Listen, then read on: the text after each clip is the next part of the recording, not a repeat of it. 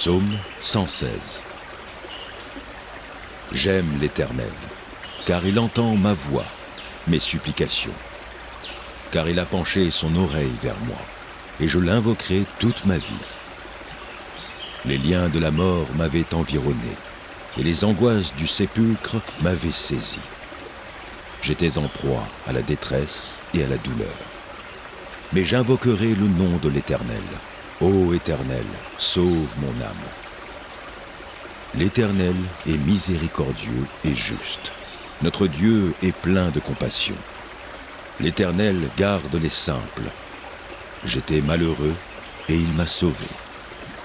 Mon âme, retourne à ton repos, car l'Éternel t'a fait du bien.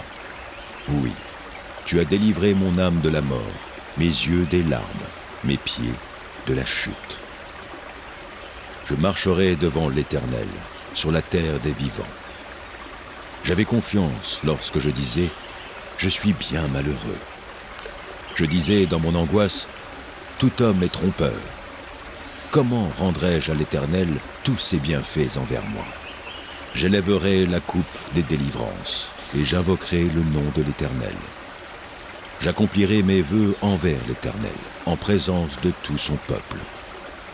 Elle a du prix aux yeux de l'Éternel, la mort de ceux qui l'aiment. Écoute-moi, ô Éternel, car je suis ton serviteur, ton serviteur, fils de ta servante. Tu as détaché mes liens. Je t'offrirai un sacrifice d'action de grâce, et j'invoquerai le nom de l'Éternel. J'accomplirai mes vœux envers l'Éternel, en présence de tout son peuple.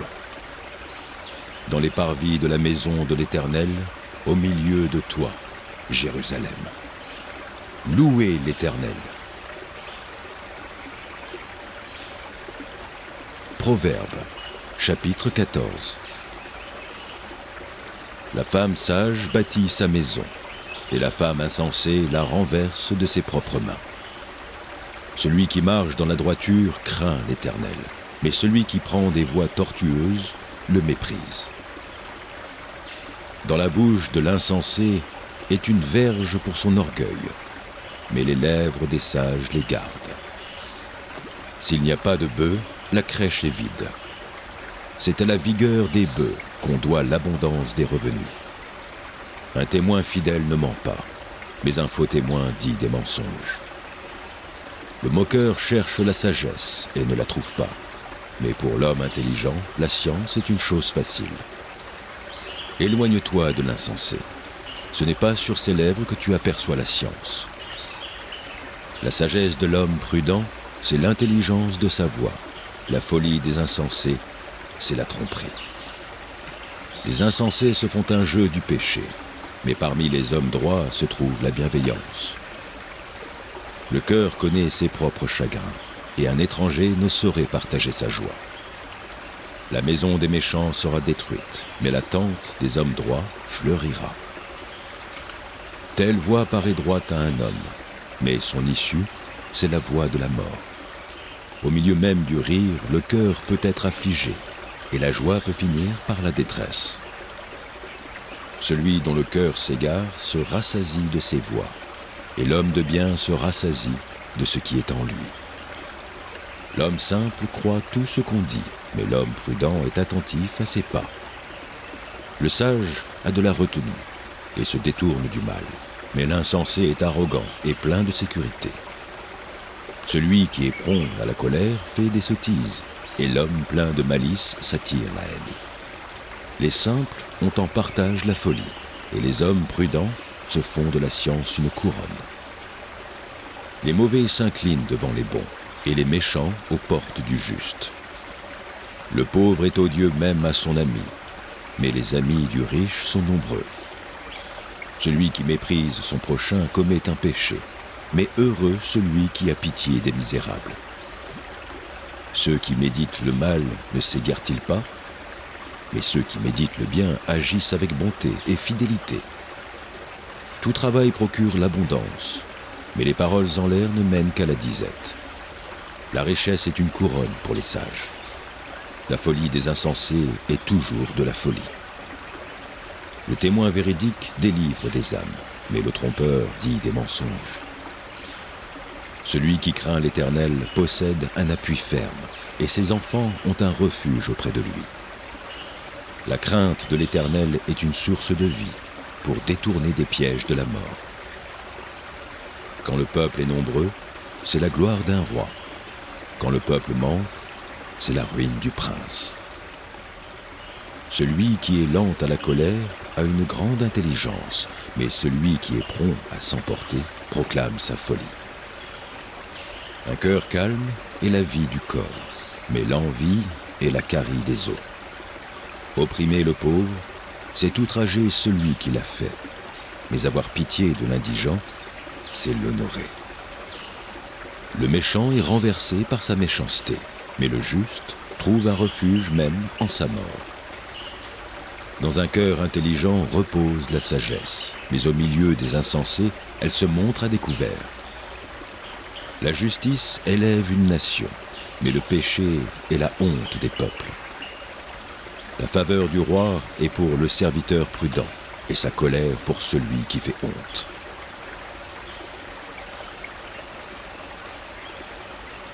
Psaume 21 Éternel, le roi se réjouit de ta protection puissante.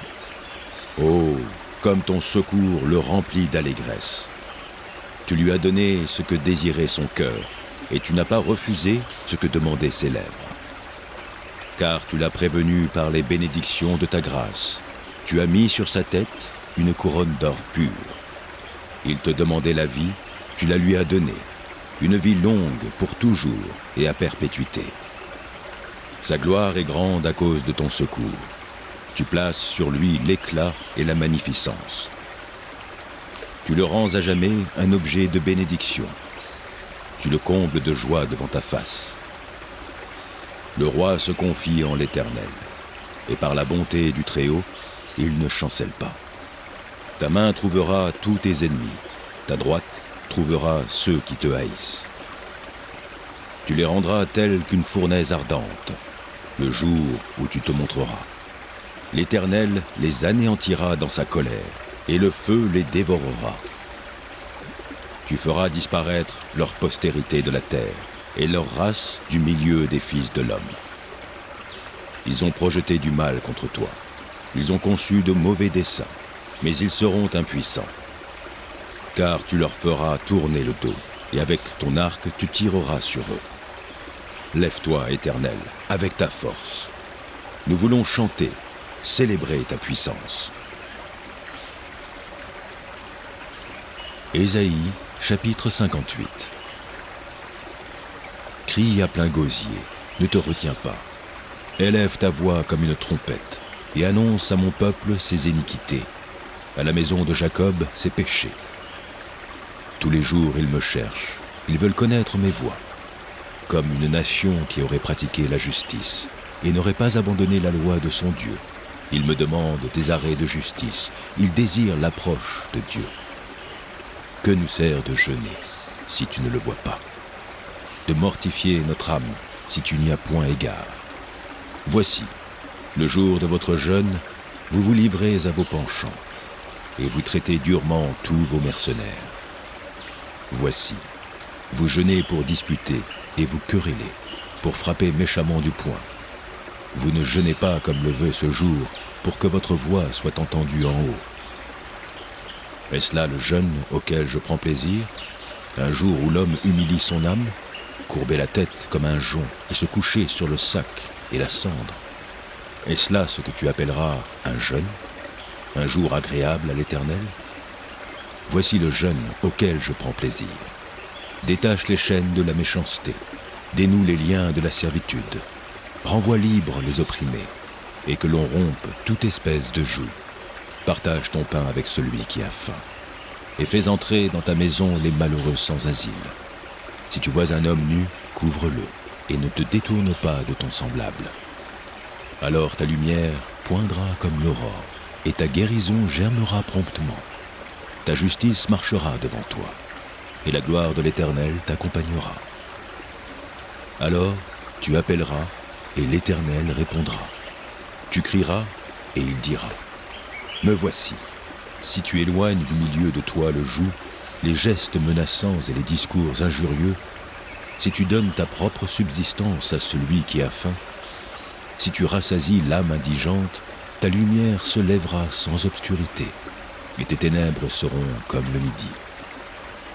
L'Éternel sera toujours ton guide. Il rassasiera ton âme dans les lieux arides, et il redonnera de la vigueur à tes membres.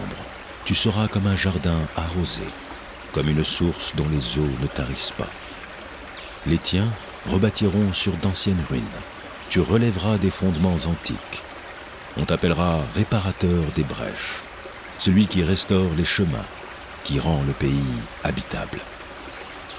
Si tu retiens ton pied pendant le sabbat, pour ne pas faire ta volonté en mon saint jour, si tu fais du sabbat tes délices, pour sanctifier l'Éternel en le glorifiant, et si tu l'honores en ne suivant point tes voies, en ne te livrant pas à tes penchants et à de vains discours, alors tu mettras ton plaisir en l'Éternel, et je te ferai monter sur les hauteurs du pays, je te ferai jouir de l'héritage de Jacob, ton père, car la bouche de l'Éternel a parlé.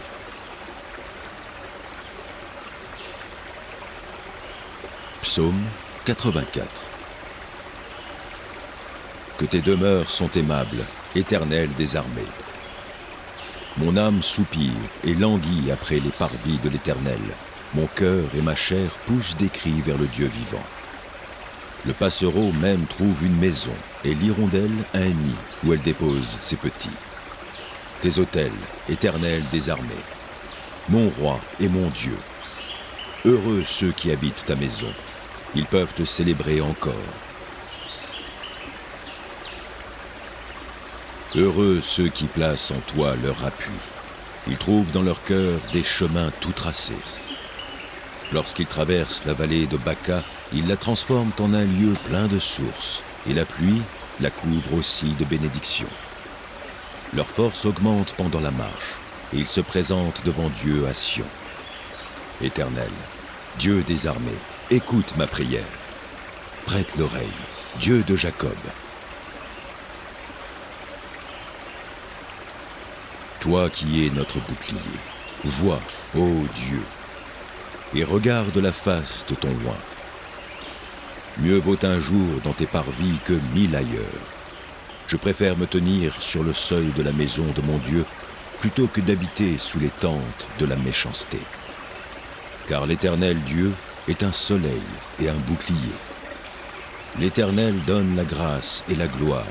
Il ne refuse aucun bien à ceux qui marchent dans l'intégrité. Éternel des armées, heureux l'homme qui se confie en toi.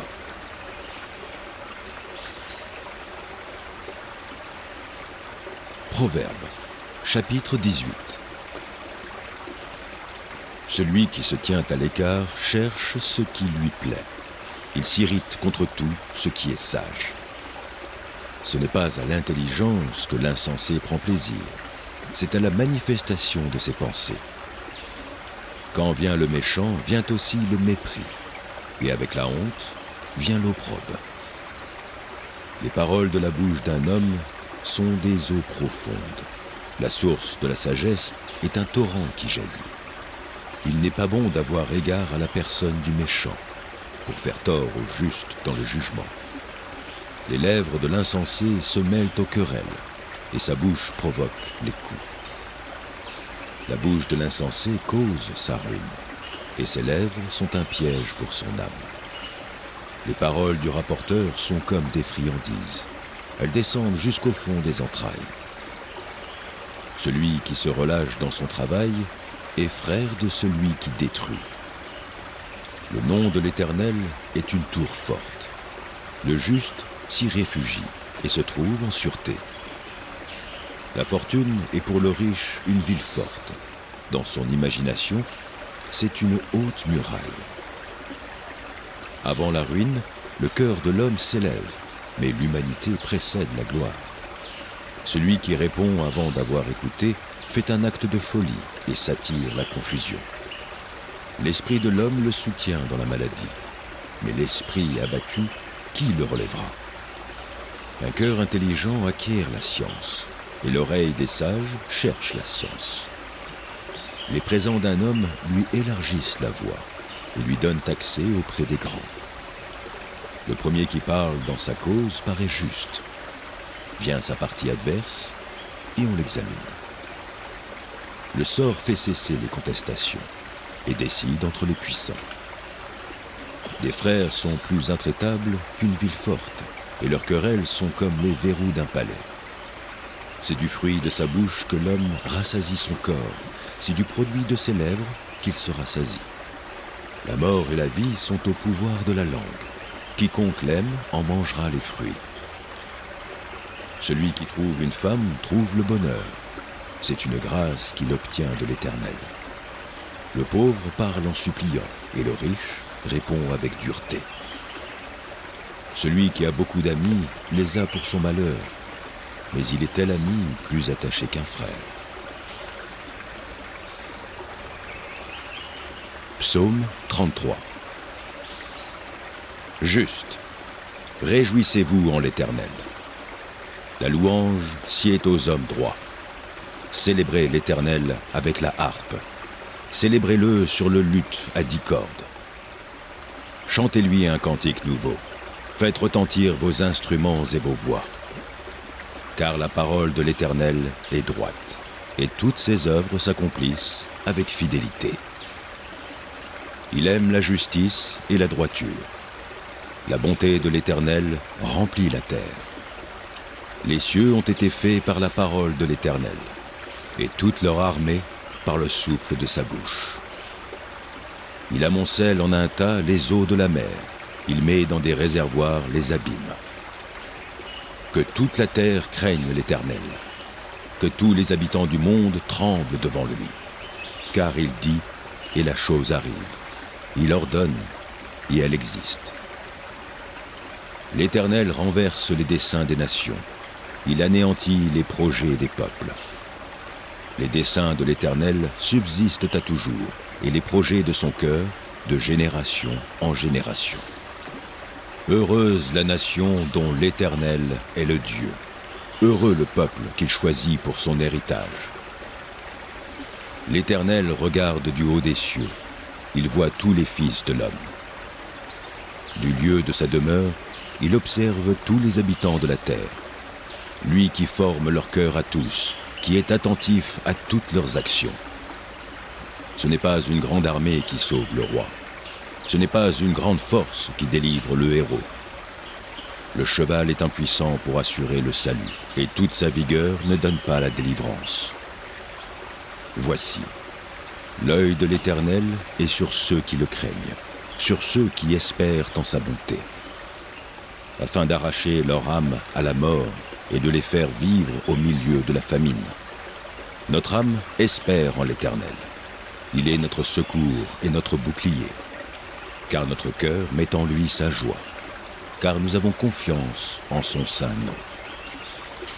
Éternel, que ta grâce soit sur nous, comme nous espérons en toi.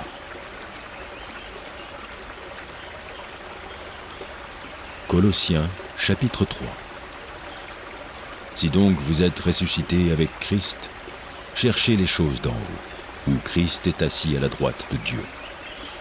Affectionnez-vous aux choses d'en haut, et non à celles qui sont sur la terre.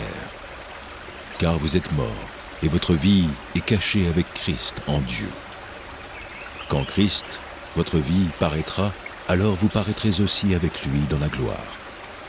Faites donc mourir les membres qui sont sur la terre, l'impudicité, l'impureté, les passions, les mauvais désirs et la cupidité, qui est une idolâtrie. C'est à cause de ces choses que la colère de Dieu vient sur les fils de la rébellion, parmi lesquels vous marchiez autrefois, lorsque vous viviez dans ces péchés. Mais maintenant, renoncez à toutes ces choses, à la colère, à l'animosité, à la méchanceté, à la calomnie, aux paroles déshonnêtes qui pourraient sortir de votre bouche. Ne mentez pas les uns aux autres, vous étant dépouillés du vieil homme et de ses œuvres, et ayant revêtu l'homme nouveau qui se renouvelle dans la connaissance selon l'image de celui qui l'a créé. Il n'y a ici ni grec, ni juif, ni circoncis, ni incirconcis, ni barbare, ni scythe, ni esclave, ni libre. Mais Christ est tout et en tous. Ainsi donc, comme des élus de Dieu, saints et bien-aimés, revêtez-vous d'entrailles de miséricorde, de bonté, d'humilité, de douceur, de patience. Supportez-vous les uns les autres, et si l'un a sujet de se plaindre de l'autre, pardonnez-vous réciproquement. De même que Christ vous a pardonné, pardonnez-vous aussi. Mais par-dessus toutes ces choses, revêtez-vous de la charité, qui est le lien de la perfection, et que la paix de Christ, à laquelle vous avez été appelés pour former un seul corps, règne dans vos cœurs, et soyez reconnaissants. Que la parole de Christ habite parmi vous abondamment. Instruisez-vous et exhortez-vous les uns les autres en toute sagesse, par des psaumes, par des hymnes, par des cantiques spirituels, chantant à Dieu dans vos cœurs sous l'inspiration de la grâce. Et quoi que vous fassiez, en parole ou en œuvre, faites tout au nom du Seigneur Jésus, en rendant par lui des actions de grâce à Dieu le Père. Femmes, soyez soumises à vos maris, comme il convient dans le Seigneur. Marie, aimez vos femmes et ne vous aigrissez pas contre elles. Enfants, obéissez en toutes choses à vos parents, car cela est agréable dans le Seigneur. Père, n'irritez pas vos enfants, de peur qu'ils ne se découragent. Serviteurs, obéissez en toutes choses à vos maîtres selon la chair, non seulement sous leurs yeux, comme pour plaire aux hommes, mais avec simplicité de cœur, dans la crainte du Seigneur. Tout ce que vous faites, faites-le de bon cœur, comme pour le Seigneur et non pour des hommes, sachant que vous recevrez du Seigneur l'héritage pour récompense. Servez Christ, le Seigneur, car celui qui agit injustement recevra selon son injustice, et il n'y a point d'acception de personne. Proverbe, chapitre 16 Les projets que forme le cœur dépendent de l'homme, mais la réponse que donne la bouche vient de l'Éternel. Toutes les voies de l'homme sont pures à ses yeux, mais celui qui pèse les esprits, c'est l'Éternel. Recommande à l'Éternel tes œuvres, et tes projets réussiront. L'Éternel a tout fait pour un but, même le méchant pour le jour du malheur. Tout cœur hautain est en abomination à l'Éternel. Certes, il ne restera pas impuni. Par la bonté et la fidélité, on expie l'iniquité, et par la crainte de l'Éternel, on se détourne du mal. Quand l'Éternel approuve les voies d'un homme, il dispose favorablement à son égard même ses ennemis. Mieux vaut peu avec la justice que de grands revenus avec l'injustice. Le cœur de l'homme médite sa voie, mais c'est l'Éternel qui dirige ses pas. Des oracles sont sur les lèvres du roi. Sa bouche ne doit pas être infidèle quand il juge. Le poids et la balance justes sont à l'Éternel. Tous les poids du sac sont son ouvrage. Les rois ont horreur de faire le mal, car c'est par la justice que le trône s'affermit. Les lèvres justes gagnent la faveur des rois, et ils aiment celui qui parle avec droiture. La fureur du roi est un messager de mort, et un homme sage doit l'apaiser. La sérénité du visage du roi donne la vie, et sa faveur est comme une pluie du printemps. Combien acquérir la sagesse vaut mieux que l'or Combien acquérir l'intelligence est préférable à l'argent Le chemin des hommes droits, c'est d'éviter le mal. Celui qui garde son âme veille sur sa voie. L'arrogance précède la ruine, et l'orgueil précède la chute. Mieux vaut être humble avec les humbles que de partager le butin avec les orgueilleux. Celui qui réfléchit sur les choses trouve le bonheur, et celui qui se confie en l'Éternel est heureux. Celui qui est sage de cœur est appelé intelligent, et la douceur des lèvres augmente le savoir. La sagesse est une source de vie pour celui qui la possède, et le châtiment des insensés, c'est leur folie. Celui qui est sage de cœur manifeste la sagesse par sa bouche, et l'accroissement de son savoir paraît sur ses lèvres.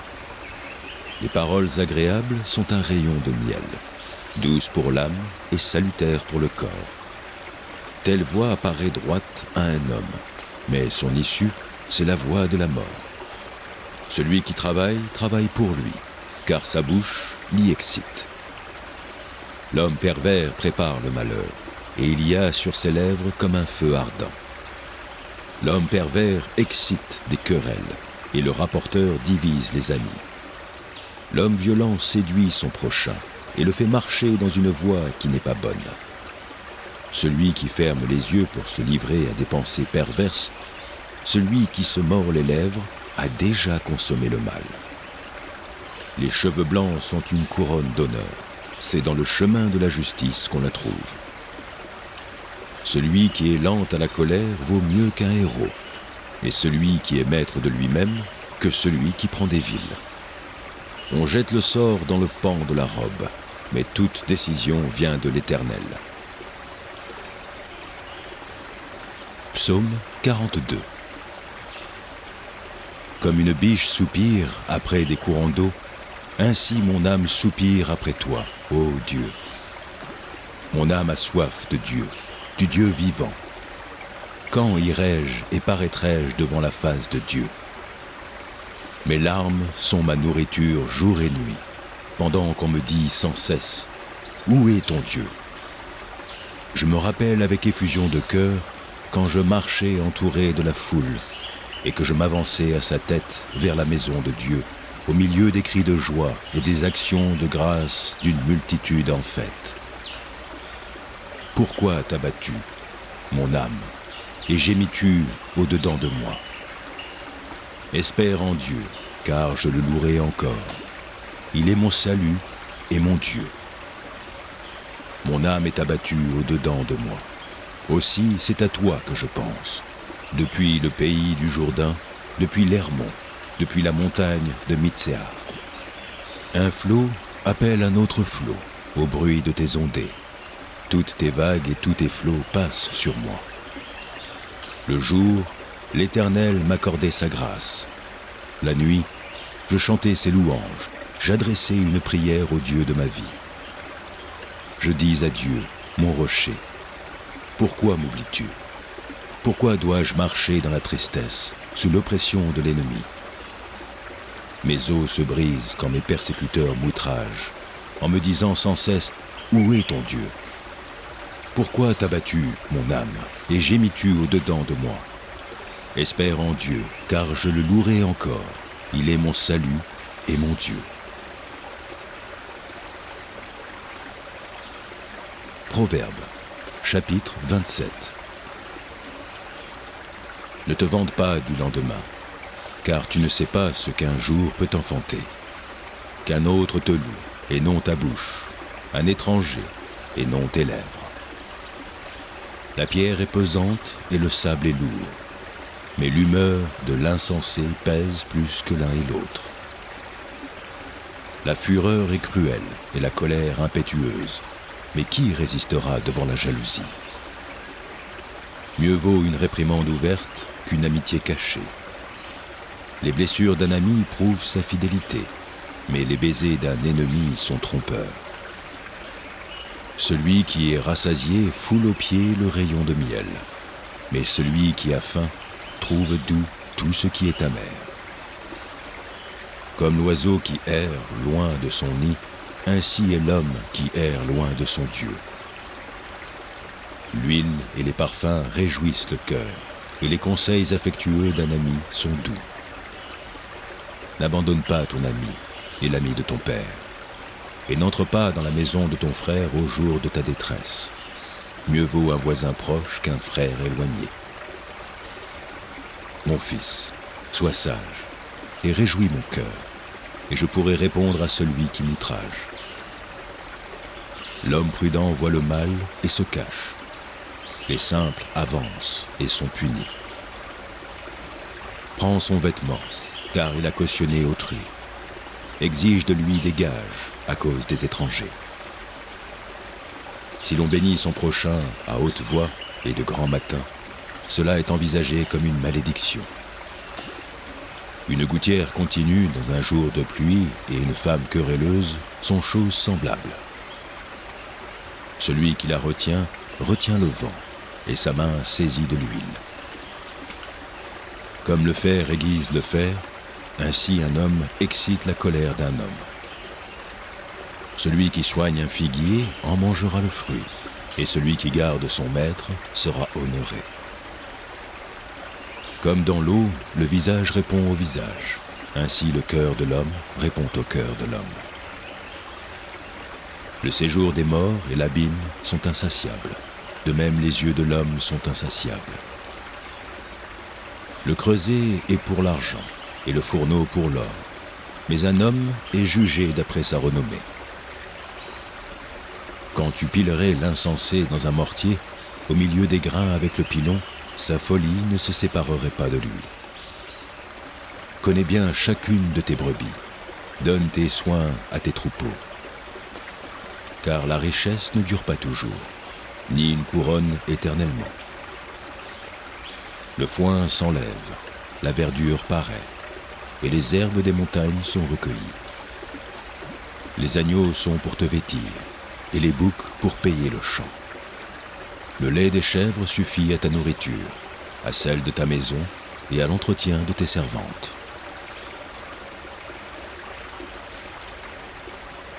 Première épître de Jean, chapitre 1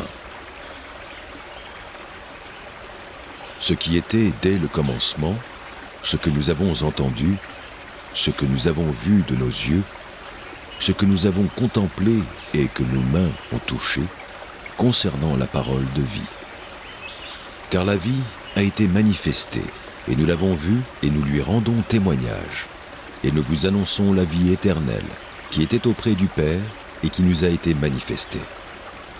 Ce que nous avons vu et entendu, nous vous l'annonçons à vous aussi, afin que vous aussi vous soyez en communion avec nous. Or, notre communion est avec le Père et avec son Fils, Jésus-Christ. Et nous écrivons ces choses, afin que notre joie soit parfaite. La nouvelle que nous avons apprise de lui et que nous vous annonçons, c'est que Dieu est lumière et qu'il n'y a point en lui de ténèbres. Si nous disons que nous sommes en communion avec lui et que nous marchions dans les ténèbres, nous mentons et nous ne pratiquons pas la vérité. Mais si nous marchons dans la lumière, comme il est lui-même dans la lumière, nous sommes mutuellement en communion, et le sang de Jésus, son Fils, nous purifie de tout péché. Si nous disons que nous n'avons pas de péché, nous nous séduisons nous-mêmes et la vérité n'est point en nous. Si nous confessons nos péchés, il est fidèle et juste pour nous les pardonner et pour nous purifier de toute iniquité. Si nous disons que nous n'avons pas péché, nous le faisons menteur et sa parole n'est point en nous. Psaume 27 L'Éternel est ma lumière et mon salut. De qui aurais-je crainte? L'Éternel est le soutien de ma vie. De qui aurais-je peur? Quand des méchants s'avancent contre moi pour dévorer ma chair, ce sont mes persécuteurs et mes ennemis qui chancellent et tombent. Si une armée se campait contre moi, mon cœur n'aurait aucune crainte. Si une guerre s'élevait contre moi, je serai malgré cela plein de confiance. Je demande à l'Éternel une chose, que je désire ardemment. Je voudrais habiter toute ma vie dans la maison de l'Éternel, pour contempler la magnificence de l'Éternel et pour admirer son temple. Car il me protégera dans son tabernacle au jour du malheur. Il me cachera sous l'abri de sa tente. Il m'élèvera sur un rocher. Et déjà, Ma tête s'élève sur mes ennemis qui m'entourent. J'offrirai des sacrifices dans sa tente, au son de la trompette. Je chanterai, je célébrerai l'Éternel.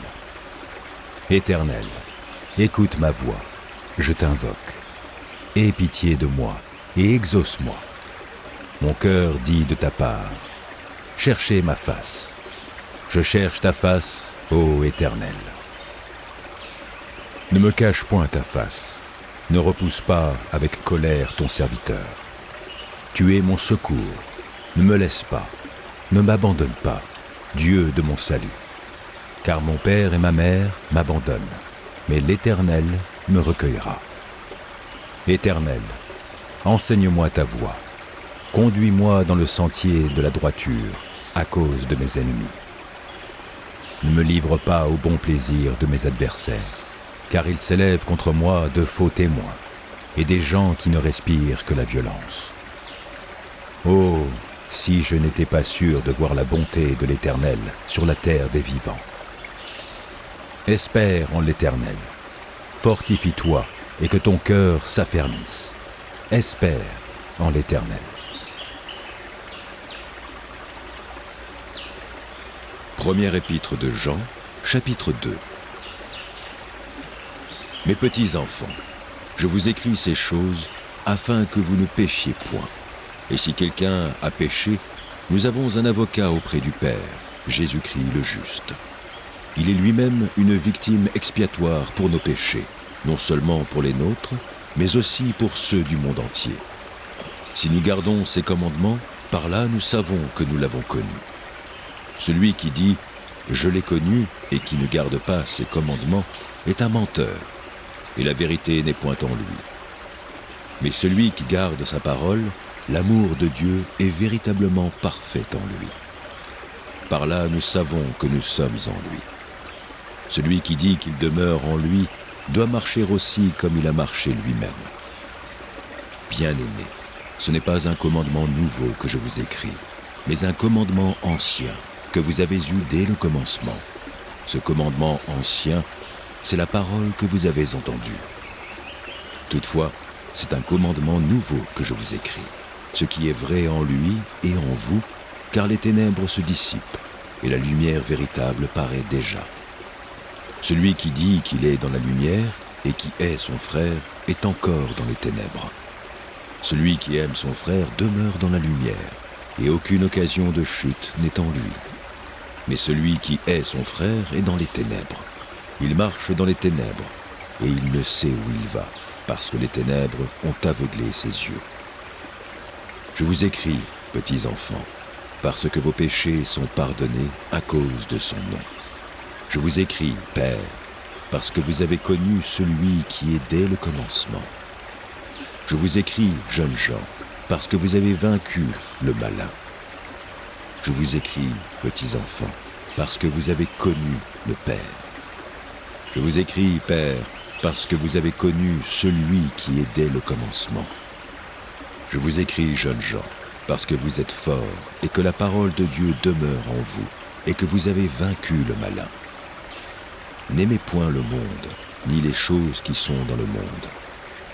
Si quelqu'un aime le monde, l'amour du Père n'est point en lui.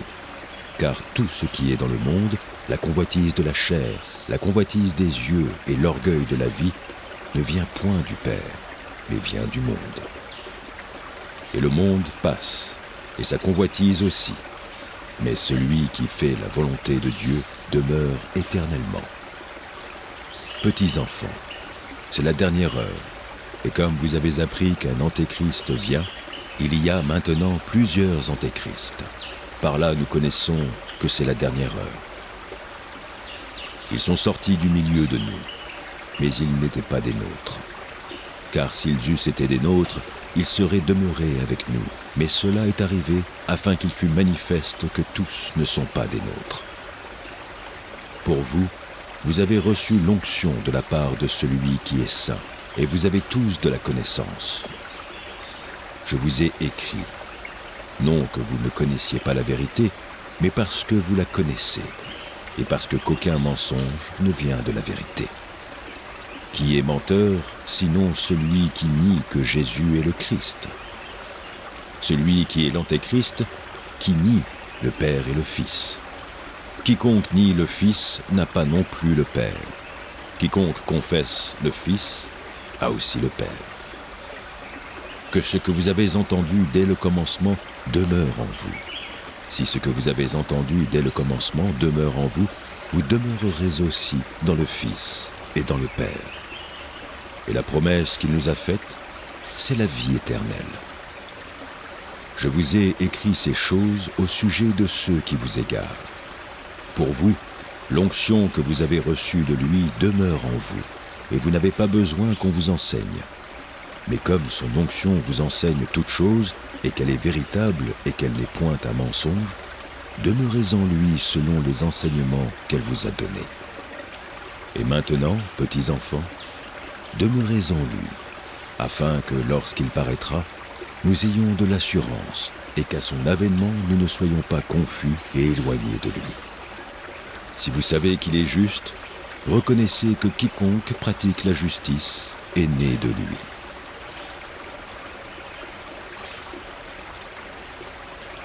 Psaume 31 Éternel, je cherche en toi mon refuge, que jamais je ne sois confondu. Délivre-moi dans ta justice. Incline vers moi ton oreille, hâte-toi de me secourir. Sois pour moi un rocher protecteur, une forteresse où je trouve mon salut. Car tu es mon rocher, ma forteresse, et à cause de ton nom, tu me conduiras, tu me dirigeras. Tu me feras sortir du filet qu'ils m'ont tendu, car tu es mon protecteur. Je remets mon esprit entre tes mains. Tu me délivreras, éternel, Dieu de vérité. Je hais ceux qui s'attachent à de vaines idoles, et je me confie en l'Éternel. Je serai par ta grâce dans l'allégresse et dans la joie, car tu vois ma misère, tu sais les angoisses de mon âme, et tu ne me livreras pas aux mains de l'ennemi, tu mettras mes pieds au large. Aie pitié de moi, Éternel, car je suis dans la détresse. J'ai le visage, l'âme et le corps usés par le chagrin. Ma vie se consume dans la douleur, et mes années dans les soupirs. Ma force est épuisée à cause de mon iniquité, et mes os dépérissent. Tous mes adversaires m'ont rendu un objet d'opprobre, de grand opprobre pour mes voisins, et de terreur pour mes amis. Ceux qui me voient dehors s'enfuient loin de moi. Je suis oublié des cœurs comme un mort, je suis comme un vase brisé. J'apprends les mauvais propos de plusieurs, l'épouvante qui règne alentour, quand ils se concertent ensemble contre moi et complotent de m'ôter la vie. Mais en toi je me confie, ô Éternel. Je dis, tu es mon Dieu. Mes destinées sont dans ta main. Délivre-moi de mes ennemis et de mes persécuteurs. Fais luire ta face sur ton serviteur. Sauve-moi par ta grâce. Éternel, que je ne sois pas confondu quand je t'invoque. Que les méchants soient confondus, qu'ils descendent en silence au séjour des morts. Qu'elles deviennent muettes, les lèvres menteuses, qui parlent avec audace contre le juste, avec arrogance et dédain. Oh, combien est grande ta beauté, que tu tiens en réserve pour ceux qui te craignent, que tu témoignes à ceux qui cherchent en toi leur refuge, à la vue des fils de l'homme. Tu les protèges sous l'abri de ta face contre ceux qui les persécutent. Tu les protèges dans ta tente contre les langues qui les attaquent. Béni soit l'Éternel, car il a signalé sa grâce envers moi, comme si j'avais été dans une ville forte. Je disais dans ma précipitation, je suis chassé loin de ton regard, mais tu as entendu la voix de mes supplications quand j'ai crié vers toi. Aimez l'Éternel, vous qui avez de la piété. L'Éternel garde les fidèles, et il punit sévèrement les orgueilleux. Fortifiez-vous, et que votre cœur s'affermisse, vous tous qui espérez en l'Éternel.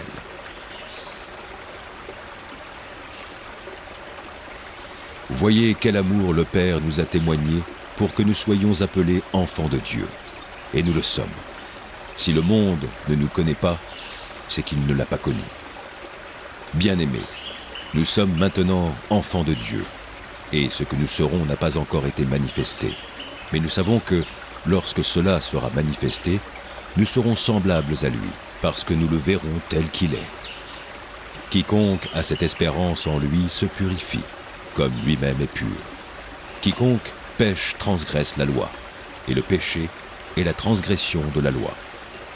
Or, vous le savez, Jésus apparut pour ôter les péchés, et il n'y a point en lui de péché. Quiconque demeure en lui ne pêche point. Quiconque pêche ne l'a pas vu et ne l'a pas connu. Petits enfants, que personne ne vous séduise. Celui qui pratique la justice est juste, comme lui-même est juste. Celui qui pêche et du diable, car le diable pêche dès le commencement.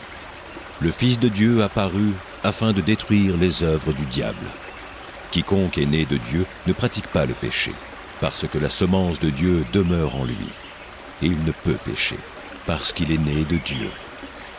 C'est par là que se font reconnaître les enfants de Dieu et les enfants du diable.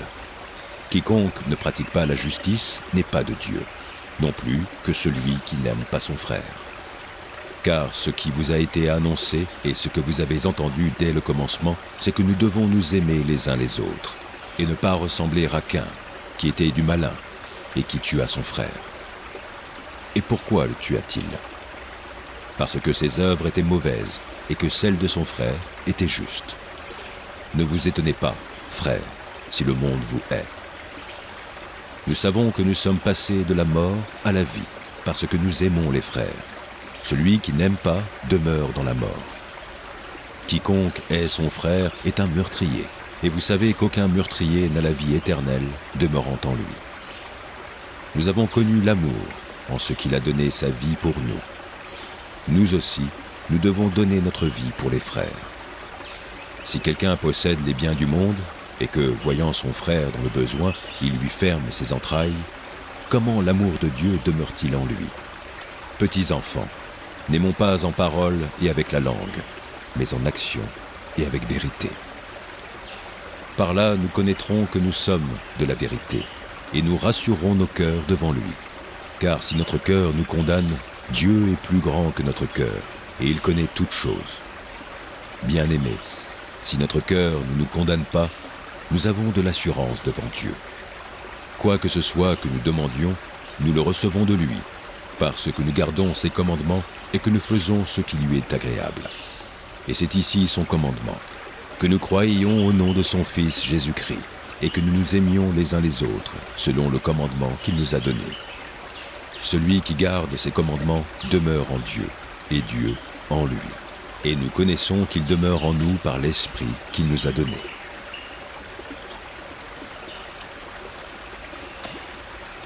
Psaume 28 Éternel, c'est à toi que je crie, mon rocher. Ne reste pas sourd à ma voix, de peur que, si tu t'éloignes sans me répondre, je ne sois semblable à ceux qui descendent dans la fosse. Écoute la voix de mes supplications quand je crie à toi, quand j'élève mes mains vers ton sanctuaire. Ne m'emporte pas avec les méchants et les hommes iniques qui parlent de paix à leurs prochains et qui ont la malice dans leur cœur. Rends-leur selon leurs œuvres et selon la malice de leurs actions. Rends-leur selon l'ouvrage de leurs mains. Donne-leur le salaire qu'ils méritent, car ils ne sont pas attentifs aux œuvres de l'Éternel, à l'ouvrage de ses mains. Qu'il les renverse et ne les relève point. Béni soit l'Éternel, car il exauce la voix de mes supplications. L'Éternel est ma force et mon bouclier. En lui mon cœur se confie, et je suis secouru. J'ai de l'allégresse dans le cœur, et je le loue par mes chants. L'Éternel est la force de son peuple. Il est le rocher des délivrances de son loin. Sauve ton peuple et bénis ton héritage. Sois leur berger et leur soutien pour toujours.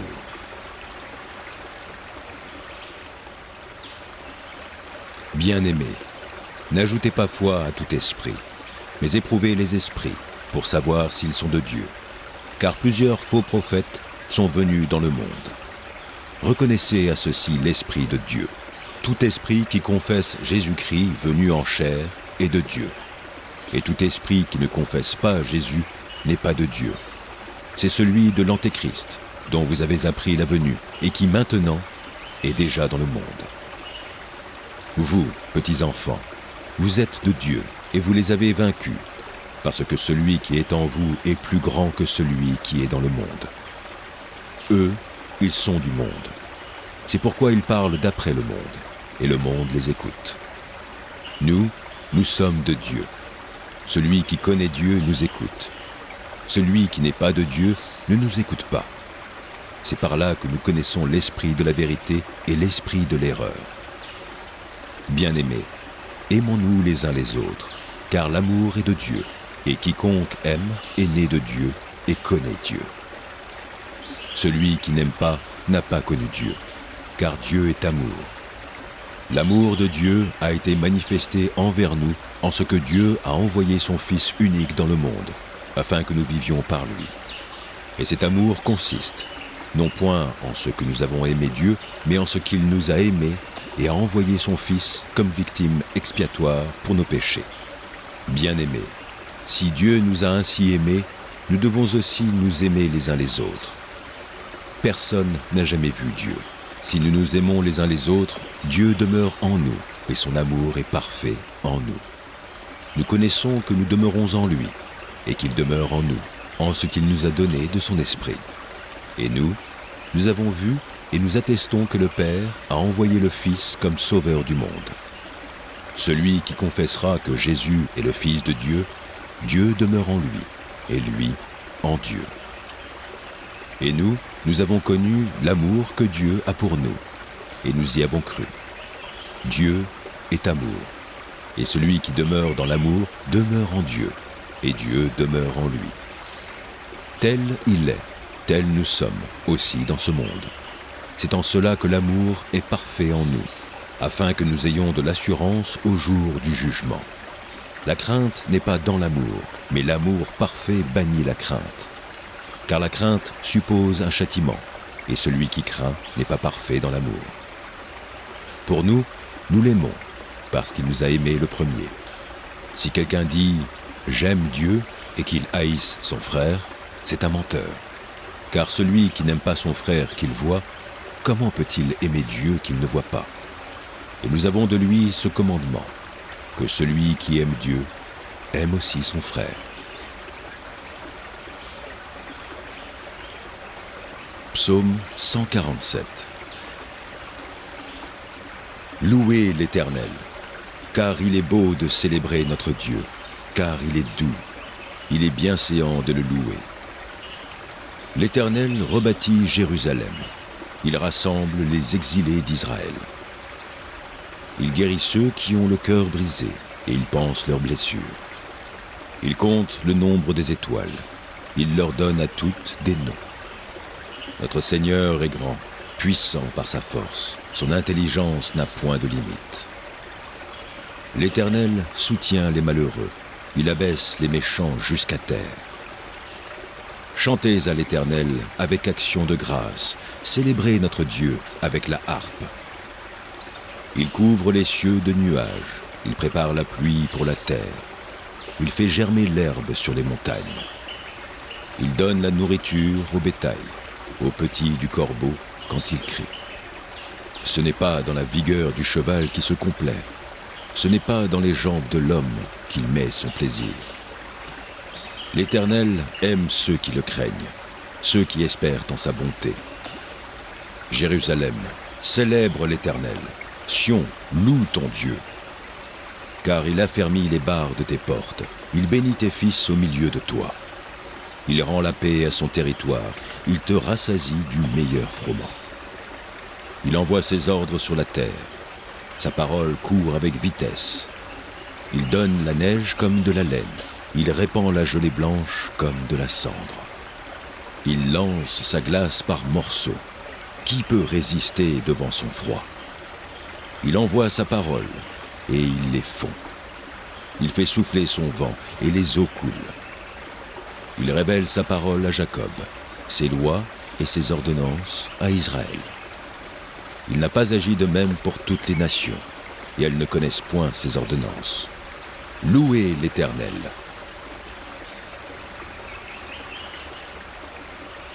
Psaume 17 Éternel, écoute la droiture, sois attentif à mes cris. Prête l'oreille à ma prière, faite avec des lèvres sans tromperie. Que ma justice paraisse devant ta face, que tes yeux contemplent mon intégrité.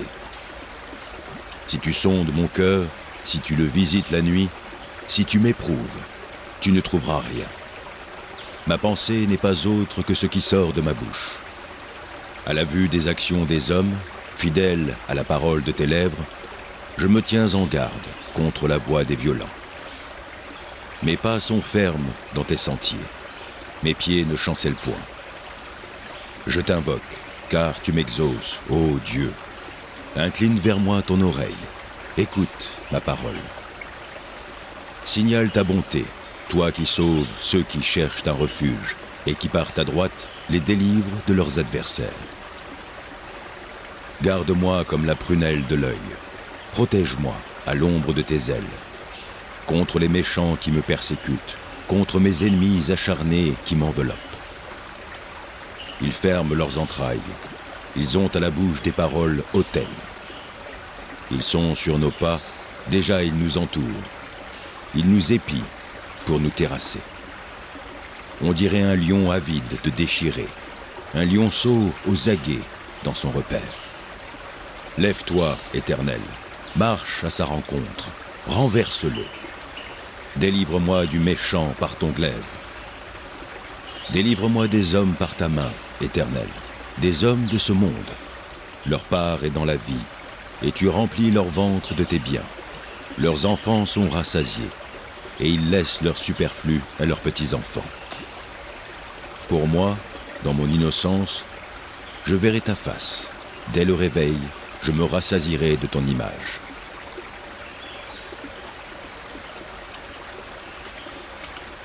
Matthieu, chapitre 13 Parabole de Jésus-Christ Ce même jour, Jésus sortit de la maison et s'assit au bord de la mer. Une grande foule s'étant assemblée auprès de lui, il monta dans une barque et il s'assit. Toute la foule se tenait sur le rivage. Il leur parla en parabole sur beaucoup de choses, et il dit Un semeur sortit pour semer. Comme il semait, une partie de la semence tomba le long du chemin. Les oiseaux vinrent et la mangèrent. Une autre partie tomba dans les endroits pierreux, où elle n'avait pas beaucoup de terre. Elle leva aussitôt, parce qu'elle ne trouva pas un sol profond.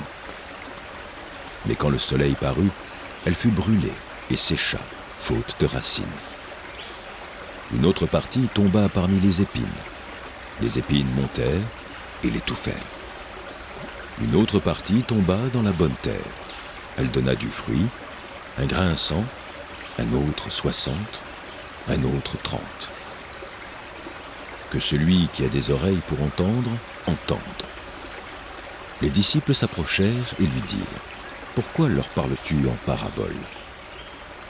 Jésus leur répondit, Parce qu'il vous a été donné de connaître les mystères du royaume des cieux, et que cela ne leur a pas été donné.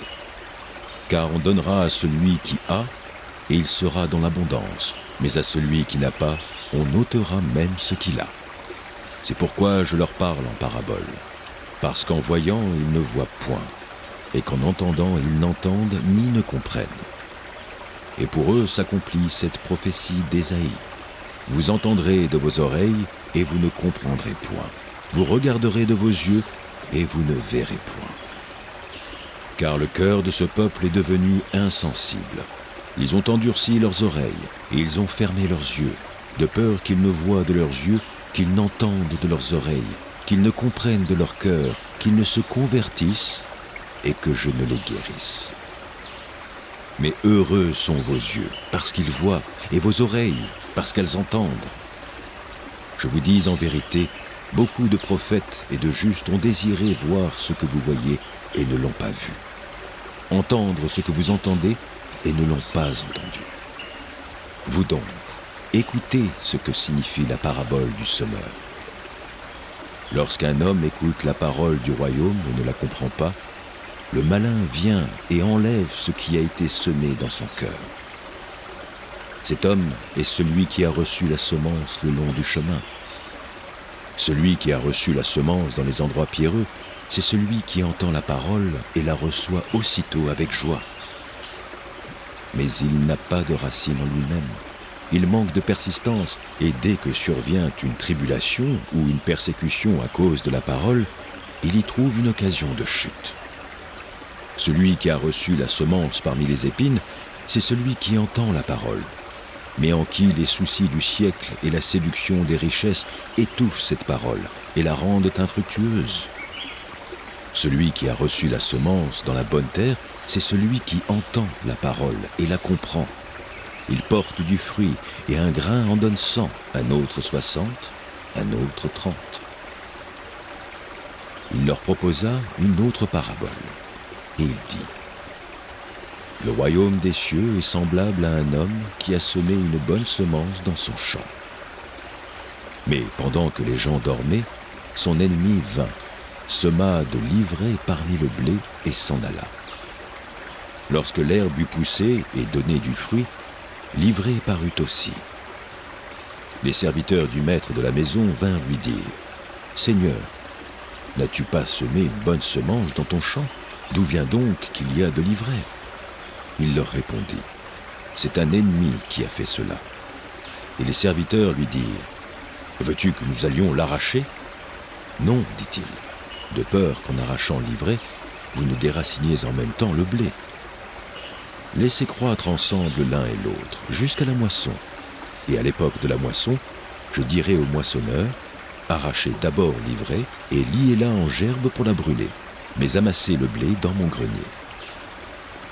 Il leur proposa une autre parabole, et il dit, Le royaume des cieux est semblable à un grain de sénévé qu'un homme a pris et semé dans son champ.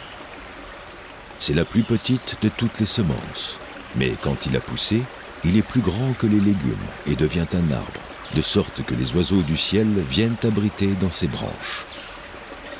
Il leur dit cette autre parabole. Le royaume des cieux est semblable à du levain qu'une femme a pris et mis dans trois mesures de farine, jusqu'à ce que la pâte soit toute levée. Jésus dit à la foule toutes ces choses en parabole, et il ne lui parlait point sans parabole, afin que s'accomplisse ce qui avait été annoncé par le prophète. J'ouvrirai ma bouche en parabole. Je publierai des choses cachées depuis la création du monde. Alors il renvoya la foule et entra dans la maison. Ses disciples s'approchèrent de lui et dirent Explique-nous la parabole de l'ivraie du champ. Il répondit Celui qui sème la bonne semence, c'est le Fils de l'homme. Le champ, c'est le monde. La bonne semence, ce sont les fils du royaume. L'ivraie, ce sont les fils du malin. L'ennemi qui l'a semé, c'est le diable. La moisson, c'est la fin du monde. Les moissonneurs, ce sont les anges. Or, comme on arrache l'ivraie et qu'on la jette au feu, il en sera de même à la fin du monde. Le Fils de l'homme enverra ses anges, qui arracheront de son royaume tous les scandales et ceux qui commettent l'iniquité. Ils les jetteront dans la fournaise ardente, où il y aura des pleurs et des grincements de dents. Alors les justes resplendiront comme le soleil dans le royaume de leur Père. Que celui qui a des oreilles pour entendre, entende. Le royaume des cieux est encore semblable à un trésor caché dans un champ. L'homme qui l'a trouvé le cache. Et dans sa joie, il va vendre tout ce qu'il a et achète ce champ.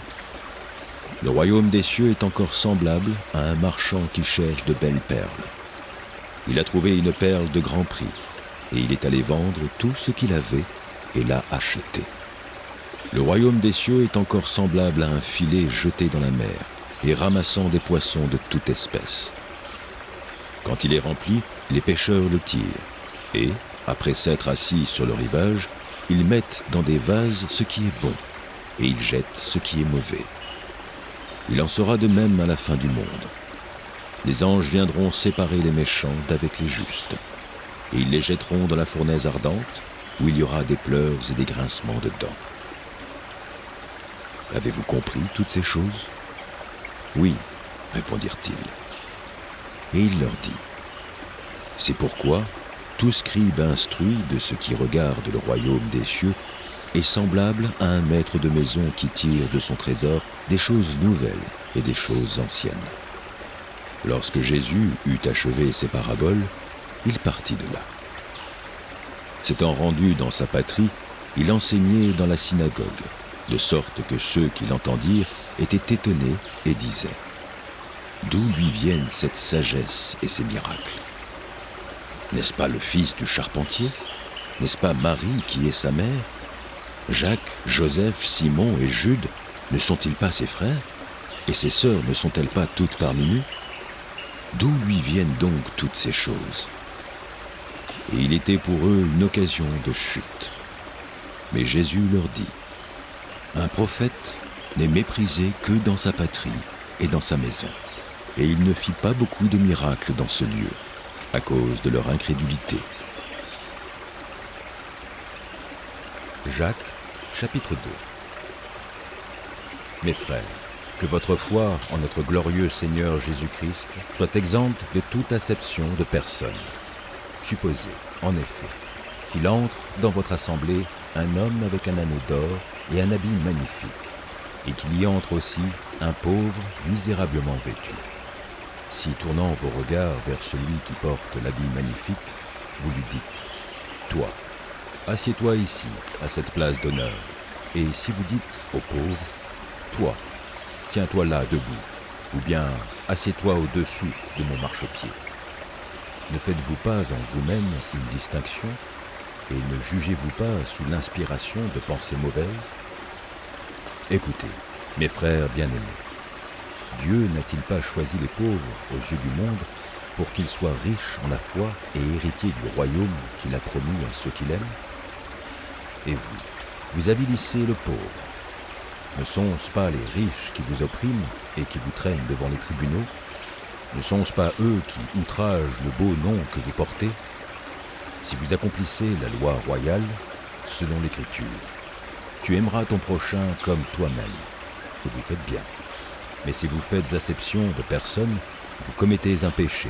Vous êtes condamnés par la loi comme des transgresseurs. Car quiconque observe toute la loi, mais pêche contre un seul commandement, devient coupable de tout. En effet, celui qui a dit Tu ne commettras point d'adultère a dit aussi Tu ne tueras point. Or, si tu ne commets point d'adultère et que tu commettes un meurtre, tu deviens transgresseur de la loi. Parlez et agissez comme devant être jugés par une loi de liberté, car le jugement est sans miséricorde pour qui n'a pas fait miséricorde. La miséricorde triomphe du jugement. Mes frères, que sert-il à quelqu'un de dire qu'il a la foi s'il n'a pas les œuvres? La foi peut-elle le sauver? Si un frère ou une sœur sont nus et manquent de la nourriture de chaque jour, et que l'un d'entre eux vous leur dise Allez en paix, chauffez-vous et vous rassasiez, et que vous ne leur donniez pas ce qui est nécessaire au corps, à quoi cela sert-il? Il en est ainsi de la foi. Si elle n'a pas les œuvres, elle est morte en elle-même. Mais quand quelqu'un dira, toi, tu as la foi, et moi, j'ai les œuvres. Montre-moi ta foi sans les œuvres, et moi, je te montrerai la foi par mes œuvres. Tu crois qu'il y a un seul Dieu, tu fais bien. Les démons le croient aussi, et ils tremblent. Peux-tu savoir, ô homme vain, que la foi sans les œuvres est inutile? Abraham, notre Père, ne fut-il pas justifié par les œuvres lorsqu'il offrit son fils Isaac sur l'autel? Tu vois que la foi agissait avec ses œuvres, et que par les œuvres la foi fut rendue parfaite. Ainsi s'accomplit ce que dit l'Écriture. Abraham crut à Dieu, et cela lui fut imputé à justice, et il fut appelé ami de Dieu. Vous voyez que l'homme est justifié par les œuvres, et non par la foi seulement.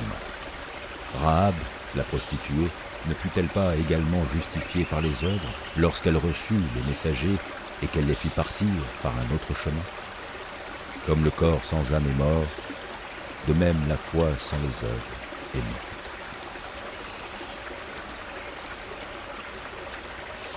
Psaume 11 C'est en l'Éternel que je cherche un refuge. Comment pouvez-vous me dire Fuis dans vos montagnes comme un oiseau? Car voici, les méchants bandent l'arc, ils ajustent leurs flèches sur la corde, pour tirer dans l'ombre sur ceux dont le cœur est droit. Quand les fondements sont renversés, le juste, que ferait-il? L'Éternel est dans son saint temple. L'Éternel a son trône dans les cieux. Ses yeux regardent, ses paupières sondent les fils de l'homme.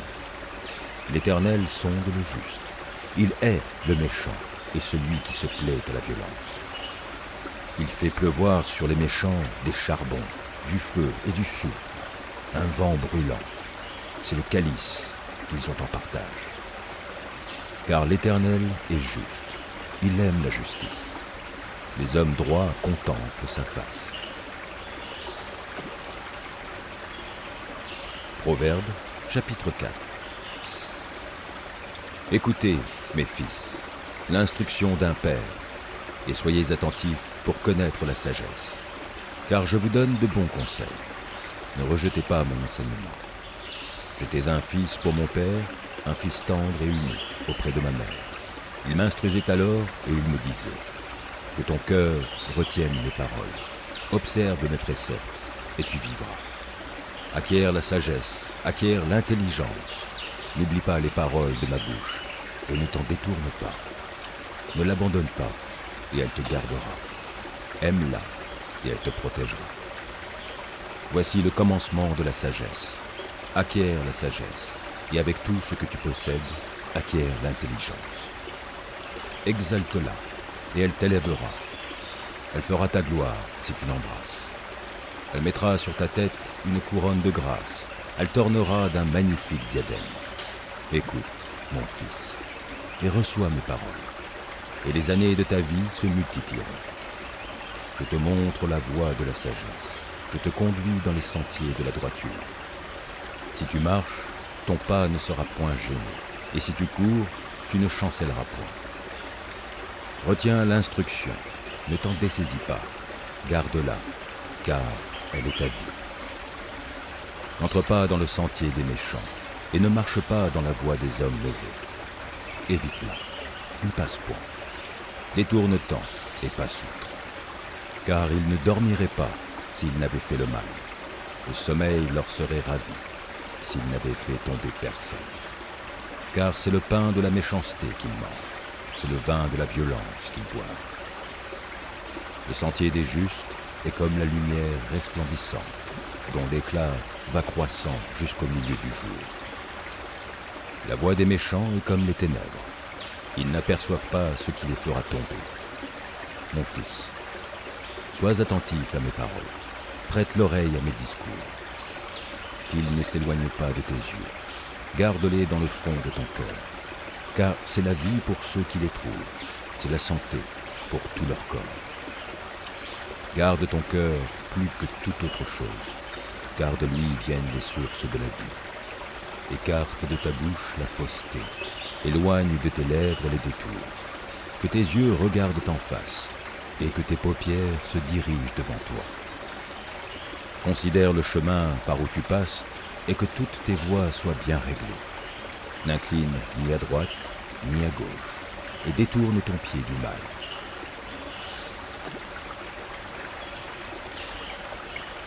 Jean chapitre 3 Mais il y eut un homme d'entre les pharisiens, nommé Nicodème, un chef des Juifs, qui vint, lui, auprès de Jésus, de nuit, et lui dit, Rabbi, nous savons que tu es un docteur venu de Dieu, car personne ne peut faire ces miracles que tu fais si Dieu n'est avec lui. Jésus lui répondit, En vérité, en vérité, je te le dis, si un homme est né de nouveau, il ne peut voir le royaume de Dieu. Nicodème lui dit, Comment un homme peut-il naître quand il est vieux? Peut-il rentrer dans le sein de sa mère et naître? Jésus répondit, en vérité, en vérité, je te le dis, si un homme est né d'eau et d'esprit, il ne peut entrer dans le royaume de Dieu. Ce qui est né de la chair est chair, ce qui est né de l'esprit est esprit. Ne t'étonne pas que je t'ai dit, il faut que vous naissiez de nouveau. Le vent souffle où et tu en entends le bruit, mais tu ne sais d'où il vient et où il. Il en est ainsi de tout homme qui est né de l'Esprit. Nicodème lui dit, Comment cela peut-il se faire? Jésus lui répondit, Tu es le docteur d'Israël et tu ne sais pas ces choses. En vérité, en vérité, je te le dis, nous disons ce que nous savons, et nous rendons témoignage de ce que nous avons vu, et vous ne recevez pas notre témoignage. Si vous ne croyez pas quand je vous ai parlé des choses terrestres, comment croirez-vous quand je vous parlerai des choses célestes? Personne n'est monté au ciel, si ce n'est celui qui est descendu du ciel, le Fils de l'homme qui est dans le ciel. Et comme Moïse éleva le serpent dans le désert, il faut de même que le Fils de l'homme soit élevé, afin que quiconque croit en lui ait la vie éternelle.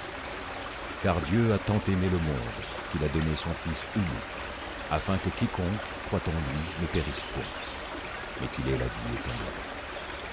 Dieu, en effet, n'a pas envoyé son Fils dans le monde pour qu'il juge le monde, mais pour que le monde soit sauvé par lui.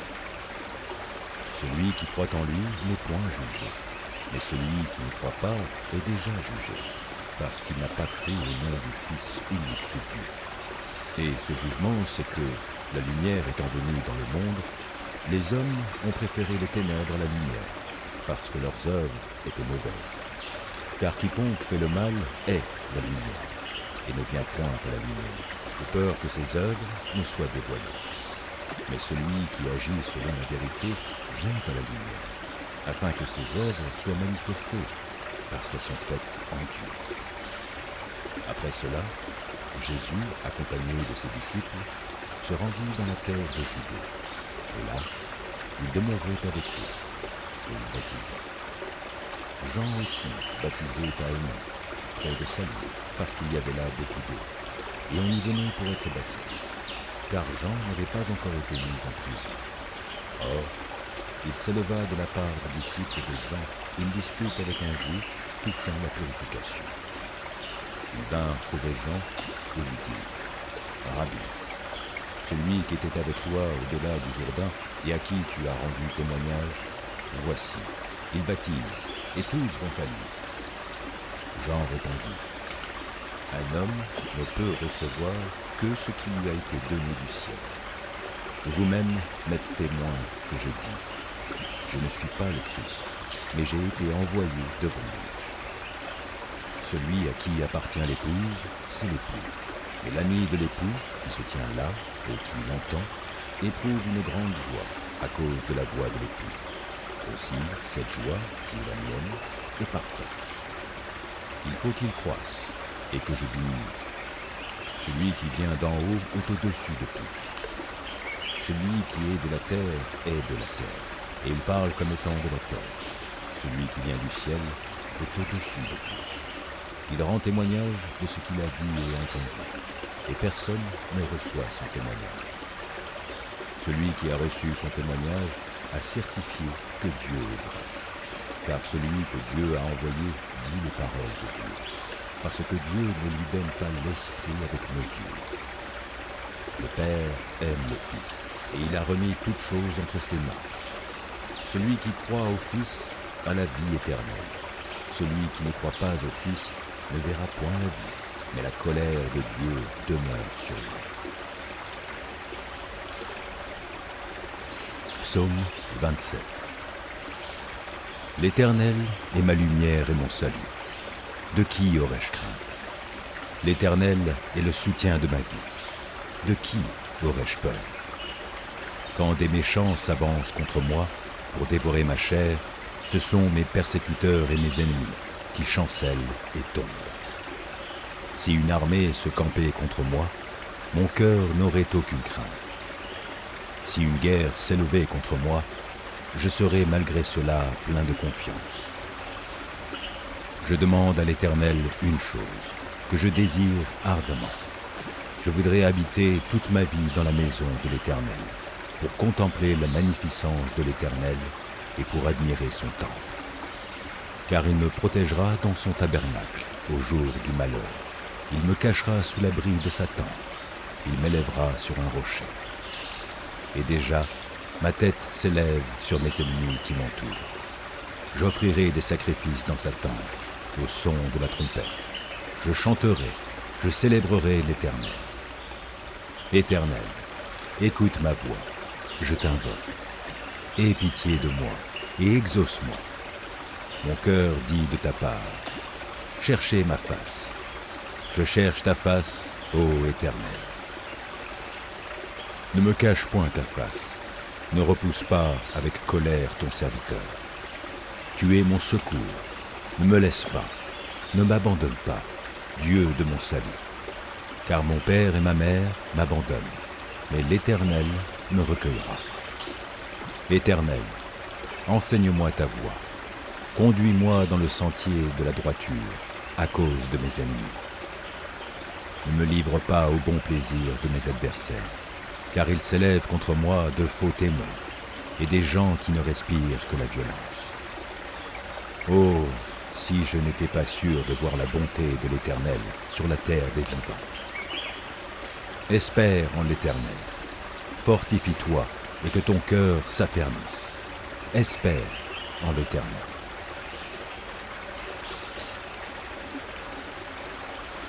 Matthieu chapitre 18 En ce moment, les disciples s'approchèrent de Jésus et dirent, Qui donc est le plus grand dans le royaume des cieux? Jésus, ayant appelé un petit enfant, le plaça au milieu d'eux et dit, Je vous le dis en vérité, si vous ne vous convertissez et si vous ne devenez comme les petits enfants, vous n'entrerez pas dans le royaume des cieux. C'est pourquoi quiconque se rendra humble comme ce petit enfant sera le plus grand dans le royaume des cieux. Et quiconque reçoit en mon nom un petit enfant comme celui-ci me reçoit moi-même. Mais si quelqu'un scandalisait un de ces petits qui croient en moi, il vaudrait mieux pour lui qu'on suspendît à son cou une meule de moulin et qu'on le jetât au fond de la mer. Malheur au monde à cause des scandales car il est nécessaire qu'il arrive des scandales. Mais malheur à l'homme par qui le scandale arrive. Si ta main ou ton pied est pour toi une occasion de chute, coupe-les et jette-les loin de toi. Mieux vaut pour toi entrer dans la vie boiteux ou manchot que d'avoir deux pieds ou deux mains et d'être jeté dans le feu éternel. Et si ton œil est pour toi une occasion de chute, arrache-le et jette-le loin de toi. Mieux vaut pour toi entrer dans la vie n'ayant qu'un œil que d'avoir deux yeux et d'être jeté dans le feu de la géhenne. Gardez-vous de mépriser un seul de ces petits, car je vous dis que leurs anges dans les cieux voient continuellement la face de mon Père qui est dans les cieux. Car le Fils de l'homme est venu sauver ce qui était perdu. Que vous en semble Si un homme a cent brebis et que l'une d'elles s'égare, ne laisse-t-il pas les 99 autres sur les montagnes pour aller chercher celle qui s'est égarée? Et s'il la trouve, je vous le dis en vérité, elle lui cause plus de joie que les 99 qui ne se sont pas égarés. De même, ce n'est pas la volonté de votre Père qui est dans les cieux qu'il se perde un seul de ses petits. Si ton frère a péché, va, et reprends-le entre toi et lui seul. S'il t'écoute, tu as gagné ton frère. Mais s'il ne t'écoute pas, prends avec toi une ou deux personnes, afin que toute l'affaire se règle sur la déclaration de deux ou de trois témoins. S'il refuse de les écouter, dis-le à l'Église. Et s'il refuse aussi d'écouter l'Église, qu'il soit pour toi comme un païen et un publicain. Je vous le dis en vérité, tout ce que vous lirez sur la terre sera lié dans le ciel, et tout ce que vous délirez sur la terre sera délié dans le ciel. Je vous dis encore que si deux d'entre vous s'accordent sur la terre pour demander une chose quelconque, elle leur sera accordée par mon Père qui est dans les cieux. Car là où deux ou trois sont assemblés en mon nom, je suis au milieu d'eux. Alors, Pierre s'approcha de lui et dit, Seigneur, combien de fois pardonnerai-je à mon frère lorsqu'il péchera contre moi? Sera-ce jusqu'à sept fois? Jésus lui dit, Je ne te dis pas jusqu'à sept fois, mais jusqu'à septante fois sept fois. C'est pourquoi le royaume des cieux est semblable à un roi qui voulut faire rendre compte à ses serviteurs. Quand il se mit à compter, on lui en amena un qui devait dix mille talents. Comme il n'avait pas de quoi payer, son maître ordonna qu'il fût vendu, lui, sa femme, ses enfants, et tout ce qu'il avait, et que la dette fût acquittée. Le serviteur, se jetant à terre, se prosterna devant lui et dit, Seigneur, aie patience envers moi, et je te paierai tout. Ému de compassion, le maître de ce serviteur le laissa aller et lui remit la dette. Après qu'il fut sorti, ce serviteur rencontra un de ses compagnons qui lui devait cent deniers. Il le saisit et l'étranglait en disant Paie ce que tu me dois. Son compagnon, se jetant à terre, le suppliait, disant Aie patience envers moi, et je te paierai. Mais l'autre ne voulut pas, et il alla le jeter en prison, jusqu'à ce qu'il eût payé ce qu'il devait. Ses compagnons, ayant vu ce qui était arrivé, furent profondément attristés, ils allèrent raconter à leur maître tout ce qui s'était passé. Alors le maître fit appeler ce serviteur et lui dit, Méchant serviteur, je t'avais remis en entier ta dette parce que tu m'en avais supplié. Ne devais-tu pas aussi avoir pitié de ton compagnon comme j'ai eu pitié de toi? Et son maître, irrité, le livra au bourreau jusqu'à ce qu'il eût payé tout ce qu'il devait. C'est ainsi que mon Père céleste vous traitera, si chacun de vous ne pardonne à son frère de tout son cœur.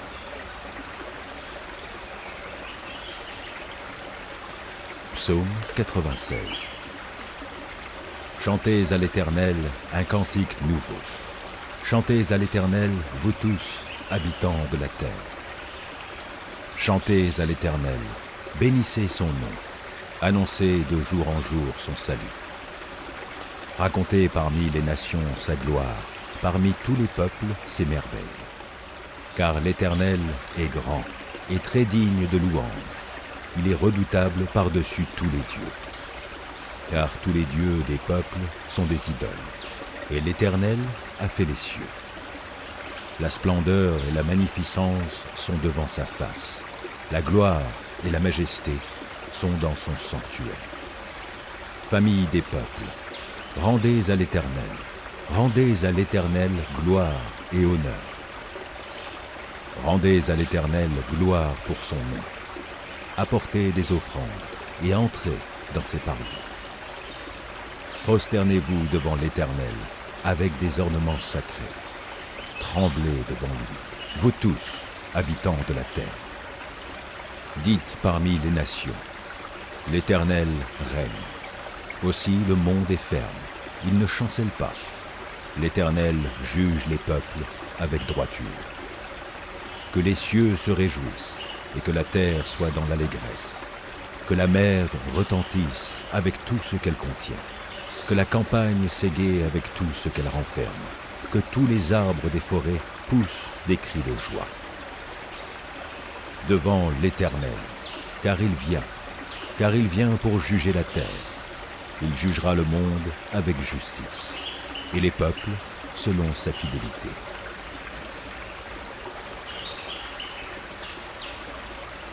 Hébreux, chapitre 13.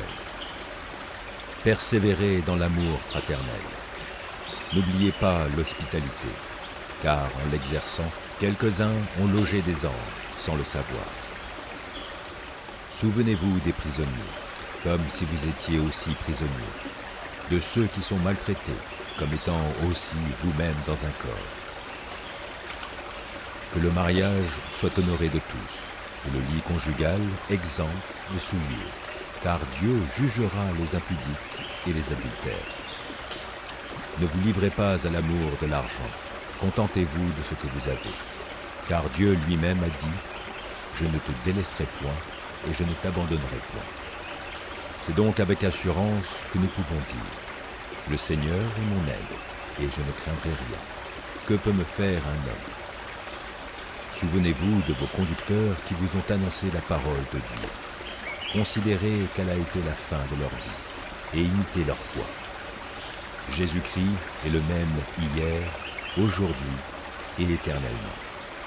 Ne vous laissez pas entraîner par des doctrines diverses et étrangères, car il est bon que le cœur soit affermi par la grâce, et non par des aliments qui n'ont servi de rien à ceux qui s'y sont attachés.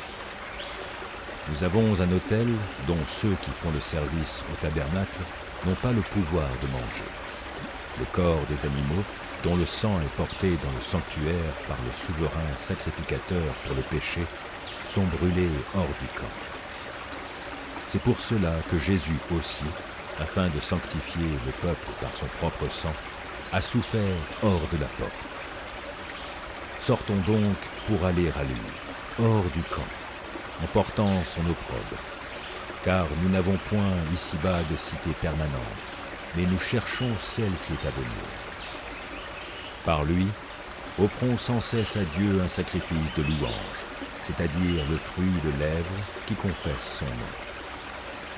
Et n'oubliez pas la bienfaisance et la libéralité, car c'est à de tels sacrifices que Dieu prend plaisir.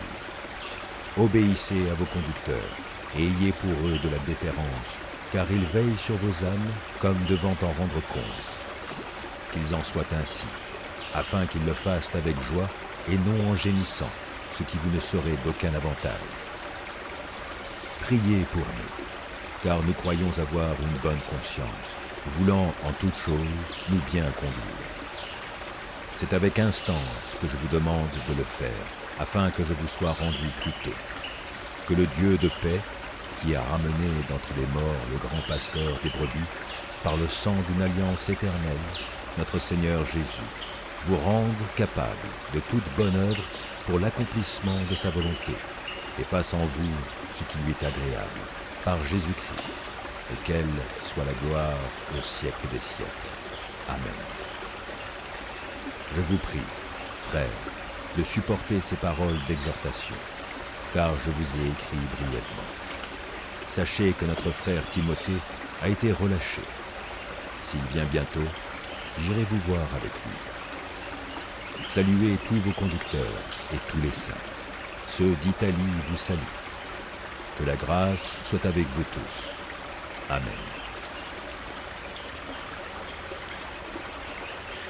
Galates chapitre 6 Frères, si un homme vient à être surpris en quelque faute, vous qui êtes spirituels, redressez-le avec un esprit de douceur. Prends garde à toi-même, de peur que tu ne sois aussi tenté. Portez les fardeaux les uns les autres, et vous accomplirez ainsi la loi de Christ. Si quelqu'un pense être quelque chose, quoi qu'il ne soit rien, il s'abuse lui-même. Que chacun examine ses propres œuvres, et alors il aura sujet de se glorifier pour lui seul, et non par rapport à autrui. Car chacun portera son propre fardeau. Que celui à qui l'on enseigne la parole fasse part de tous ses biens à celui qui l'enseigne. Ne vous y trompez pas, on ne se moque pas de Dieu. Qu'un homme aura semé, il le moissonnera aussi. Celui qui sème pour sa chair moissonnera de la chair la corruption. Et celui qui sème pour l'esprit moissonnera de l'esprit la vie éternelle. Ne nous lassons pas de faire le bien, car nous moissonnerons au temps convenable si nous ne nous relâchons pas. Ainsi donc, pendant que nous en avons l'occasion, pratiquons le bien envers tous, et surtout envers les frères en la foi. Voyez avec quelle grande lettre je vous ai écrit de ma propre main. Tous ceux qui veulent se rendre agréables selon la chair vous contraignent à vous faire circoncire, uniquement afin de n'être pas persécutés pour la croix de Christ.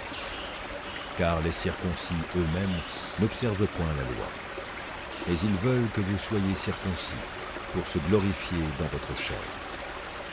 Pour ce qui me concerne, loin de moi la pensée de me glorifier d'autre chose que de la croix de notre Seigneur Jésus-Christ, par qui le monde est crucifié pour moi, comme je le suis pour le monde.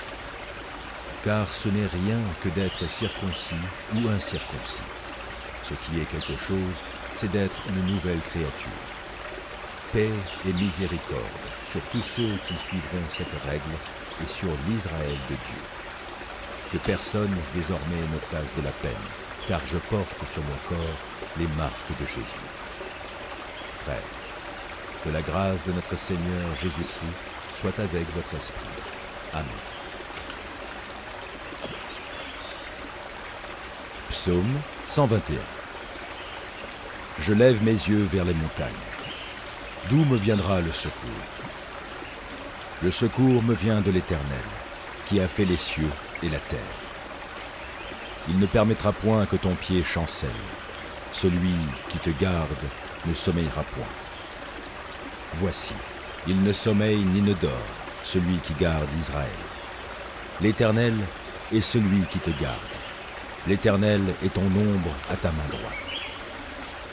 Pendant le jour, le soleil ne te frappera point, ni la lune pendant la nuit. L'Éternel te gardera de tout mal.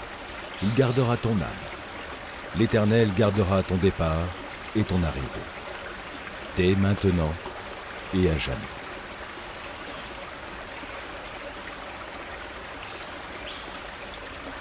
2 Thessaloniciens, chapitre 3 Au reste, frères, priez pour nous, afin que la parole du Seigneur se répande et soit glorifiée comme elle l'est chez vous, et afin que nous soyons délivrés des hommes méchants et pervers, car tous n'ont pas la foi. Le Seigneur est fidèle, il vous affirmera et vous préservera du malin. Nous avons à votre égard cette confiance dans le Seigneur que vous faites et que vous ferez les choses que nous recommandons. Que le Seigneur dirige vos cœurs vers l'amour de Dieu et vers la patience du Christ. Nous vous recommandons, frères, au nom de notre Seigneur Jésus-Christ, de vous éloigner de tout frère qui vit dans le désordre, et non selon les instructions que vous avez reçues de nous. Vous savez vous-même comment il faut nous imiter, car nous n'avons pas vécu parmi vous dans le désordre. Nous n'avons mangé gratuitement le pain de personne, mais dans le travail et dans la peine, nous avons été nuit et jour à l'œuvre, pour n'être à charge à chacun de vous. Ce n'est pas que nous n'en eussions le droit, mais nous avons voulu vous donner en nous-mêmes un modèle à éviter. Car lorsque nous étions chez vous, nous vous disions expressément, si quelqu'un ne veut pas travailler, qu'il ne mange pas non plus.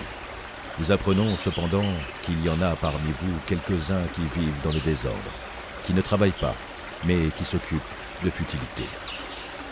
Nous invitons ces gens-là et nous les exhortons par le Seigneur Jésus-Christ à manger leur propre pain en travaillant paisiblement. Pour vous, frères, ne vous lassez pas de faire le bien. Et si quelqu'un n'obéit pas à ce que nous disons par cette lettre, notez-le et n'ayez point de communication avec lui, afin qu'il éprouve de la honte. Ne le regardez pas comme un ennemi, mais avertissez-le comme un frère. Que le Seigneur de la paix vous donne lui-même la paix en tout temps, de toute manière. Que le Seigneur soit avec vous tous.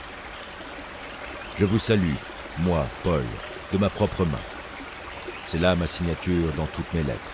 C'est ainsi que j'écris. Que la grâce de notre Seigneur Jésus-Christ soit avec vous tous.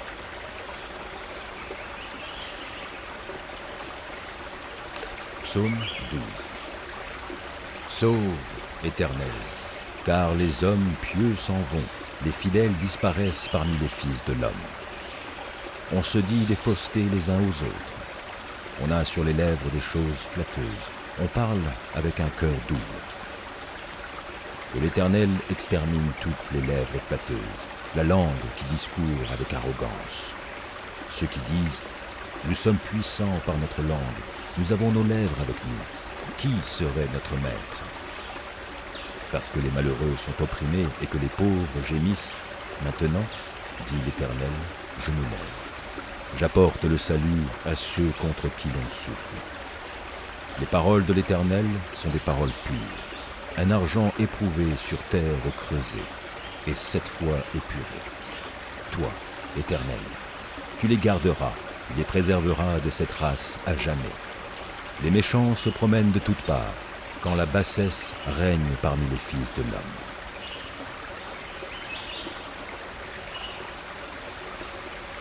« 1 Pierre, chapitre 2 Rejetant donc tout malice et toute ruse, la dissimulation, l'envie et toute médisance, Désirez, comme des enfants nouveau-nés, le lait spirituel et pur, afin que par lui vous croissiez pour le salut, si vous avez goûté que le Seigneur est bon.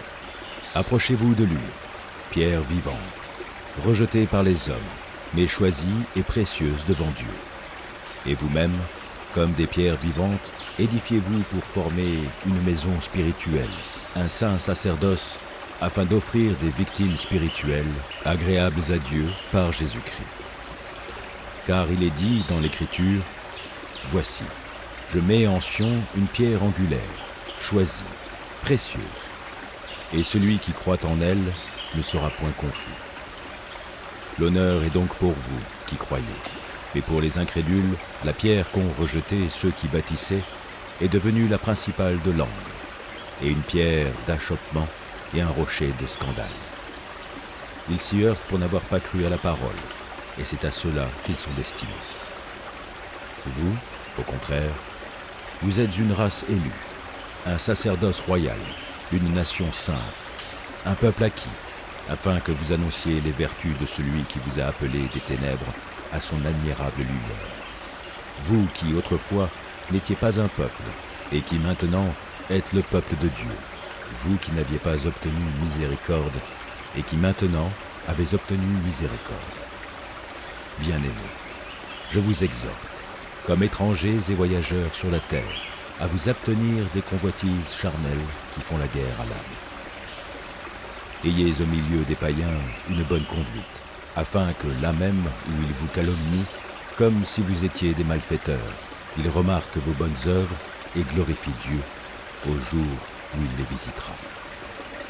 Soyez soumis, à cause du Seigneur, à toute autorité établie parmi les hommes, soit au roi comme souverain, soit au gouverneur comme envoyé par lui pour punir les malfaiteurs et pour approuver les gens de bien. Car c'est la volonté de Dieu qu'en pratiquant le bien, vous réduisiez au silence les hommes ignorants et insensés, étant libres, sans faire de la liberté un voile qui couvre la méchanceté, mais agissant comme des serviteurs de Dieu. Honorez tout le monde, aimez les frères, craignez Dieu. Honorez le roi. Serviteurs, soyez soumis en toute crainte à vos maîtres, non seulement à ceux qui sont bons et doux, mais aussi à ceux qui sont d'un caractère difficile. Car c'est une grâce que de supporter des afflictions par motif de conscience envers Dieu quand on souffre injustement. En effet, quelle gloire y a-t-il à supporter de mauvais traitements pour avoir commis des fautes? Mais si vous supportez la souffrance lorsque vous faites ce qui est bien, c'est une grâce devant Dieu. Et c'est à cela que vous avez été appelés, parce que Christ aussi a souffert pour vous, vous laissant un exemple, afin que vous suiviez ses traces. Lui qui n'a point commis de péché, et dans la bouche duquel il ne s'est point trouvé de fraude. Lui qui, injurié, ne rendait point d'injures, maltraité, ne faisait point de menaces, mais s'en remettait à celui qui juge justement. Lui qui a porté lui-même le péché en son corps sur le bois, afin que morts au péché, nous vivions pour la justice lui par les meurtrissures duquel vous avez été guéris. Car vous étiez comme des brebis errantes.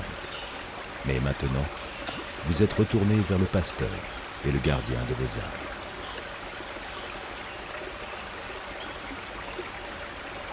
Marc 2, chapitre 2 Quelques jours après, Jésus revint à Capernaum. On apprit qu'il était à la maison et il s'assembla un si grand nombre de personnes que l'espace devant la porte ne pouvait plus les contenir. Il leur annonçait la parole. Des gens vinrent à lui, amenant un paralytique porté par quatre hommes.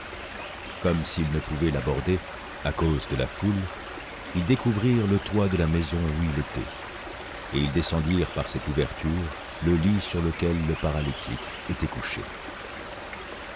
Jésus, voyant leur foi, dit au paralytique, Mon enfant, tes péchés sont pardonnés. Il y avait là quelques scribes qui étaient assis et qui se disaient au-dedans d'eux. Comment cet homme parle-t-il ainsi? Il blasphème.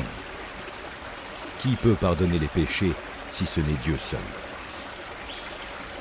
Jésus, ayant aussitôt connu par son esprit ce qu'il pensait au-dedans d'eux, leur dit pourquoi avez-vous de telles pensées dans vos cœurs? Lequel est le plus aisé de dire au paralytique Tes péchés sont pardonnés ou de dire Lève-toi, prends ton lit et marche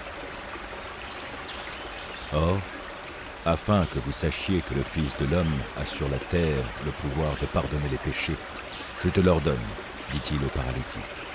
Lève-toi, prends ton lit et va dans ta maison. Et à l'instant, il se leva, prit son lit et sortit en présence de tout le monde, de sorte qu'ils étaient tous dans l'étonnement et glorifiaient Dieu, disant, Nous n'avons jamais rien vu de pareil. Jésus sortit de nouveau du côté de la mer. Toute la foule venait à lui, et il les enseignait. En passant, il vit Lévi, fils d'Alphée, assis au bureau des péages. Il lui dit, Suis-moi. Lévi se leva et le suivit. Comme Jésus était à table dans la maison de Lévi, beaucoup de publicains et de gens de mauvaise vie se mirent aussi à table avec lui et avec ses disciples, car ils étaient nombreux et l'avaient suivi. Les scribes et les pharisiens, le voyant manger avec les publicains et les gens de mauvaise vie, dirent à ses disciples, Pourquoi mange-t-il et boit-il avec les publicains et les gens de mauvaise vie Ce que Jésus, ayant entendu, il leur dit, ce ne sont pas ceux qui se portent bien qui ont besoin de médecins, mais les malades. Je ne suis pas venu appeler des justes, mais des pécheurs. Les disciples de Jean et les pharisiens jeûnaient. Ils vinrent dire à Jésus, Pourquoi les disciples de Jean et ceux des pharisiens jeûnent-ils, tandis que tes disciples ne jeûnent point? Jésus leur répondit, Les amis de l'époux peuvent-ils jeûner pendant que l'époux est avec eux? Aussi longtemps qu'ils ont avec eux l'époux, ils ne peuvent jeûner. Les jours viendront où l'époux leur sera enlevé, et alors ils jeûneront en ce jour-là. Personne ne coud une pièce de drap neuf à un vieil habit. Autrement, la pièce de drap neuf emporterait une partie du vieux, et la déchirure serait pire. Et personne ne met du vin nouveau dans de vieilles outres. Autrement, le vin fait rompre les outres, et le vin et les outres sont perdus. Mais il faut mettre le vin nouveau dans des outres neuves. Il arriva, un jour de Shabbat, que Jésus traversa des champs de blé. Ses disciples, chemin faisant, se mirent à arracher des épis.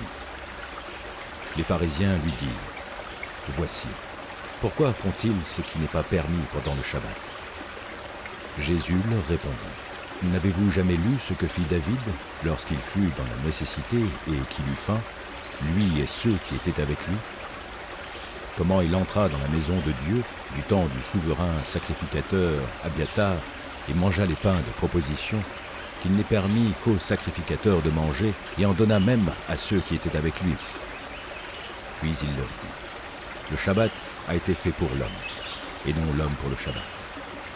De sorte que le Fils de l'homme et maître même du Shabbat.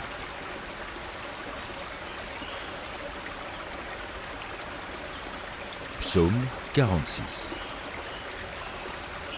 Dieu est pour nous un refuge et un appui, un secours qui ne manque jamais dans la détresse. C'est pourquoi nous sommes sans crainte quand la terre est bouleversée et que les montagnes chancellent au cœur des mers. Quand les flots de la mer mugissent, écument se soulève jusqu'à faire trembler les montagnes. Il est un fleuve dont les courants réjouissent la cité de Dieu, le sanctuaire des demeures du Très-Haut. Dieu est au milieu d'elle. Elle, n'est point ébranlée. Dieu la secourt dès l'aube du matin. Des nations s'agitent, des royaumes s'ébranlent.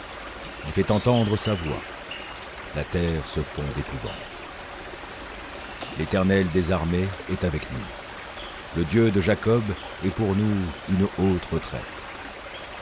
Venez, contemplez les œuvres de l'Éternel, les ravages qu'il a opérés sur la terre. C'est lui qui a fait cesser les combats jusqu'au bout de la terre. Il a brisé l'arc et il a rompu la lance. Il a consumé par le feu les chars de guerre.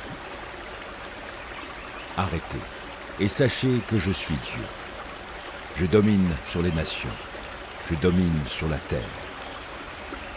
L'Éternel des armées est avec nous. Le Dieu de Jacob est pour nous une haute retraite.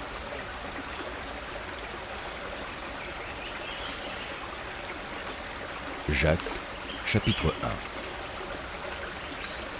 1 Jacques, serviteur de Dieu et du Seigneur Jésus-Christ, aux douze tribus qui sont dans la dispersion, salut. Mes frères, regardez comme un sujet de joie complète les diverses épreuves auxquelles vous pouvez être exposés. Sachant que l'épreuve de votre foi produit la patience. Mais il faut que la patience accomplisse parfaitement son œuvre, afin que vous soyez parfaits et accomplis, sans faillir en rien. Si quelqu'un d'entre vous manque de sagesse, qu'il la demande à Dieu, qui donne à tous simplement et sans reproche, et elle lui sera donnée.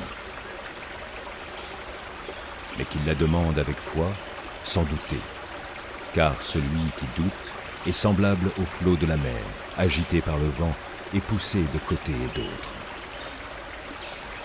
Qu'un tel homme ne s'imagine pas qu'il recevra quelque chose du Seigneur. C'est un homme irrésolu, inconstant dans toutes ses voies. Que le frère de condition humble se glorifie de son élévation. Que le riche, au contraire, se glorifie de son humiliation, car il passera comme la fleur de l'herbe. Le soleil s'est levé avec sa chaleur ardente. Il a desséché l'herbe, sa fleur est tombée, et la beauté de son aspect a disparu. Ainsi le riche se flétira dans ses entreprises. Heureux l'homme qui supporte patiemment la tentation, car, après avoir été éprouvé, il recevra la couronne de vie que le Seigneur a promise à ceux qui l'aiment. Que personne, lorsqu'il est tenté, me dise, c'est Dieu qui me tente, car Dieu ne peut être tenté par le mal, et il ne tente lui-même personne. Mais chacun est tenté quand il est attiré et amorcé par sa propre convoitise. Puis la convoitise, lorsqu'elle a conçu, enfante le péché, et le péché, étant consommé, produit la mort. Ne vous y trompez pas, mes frères bien-aimés.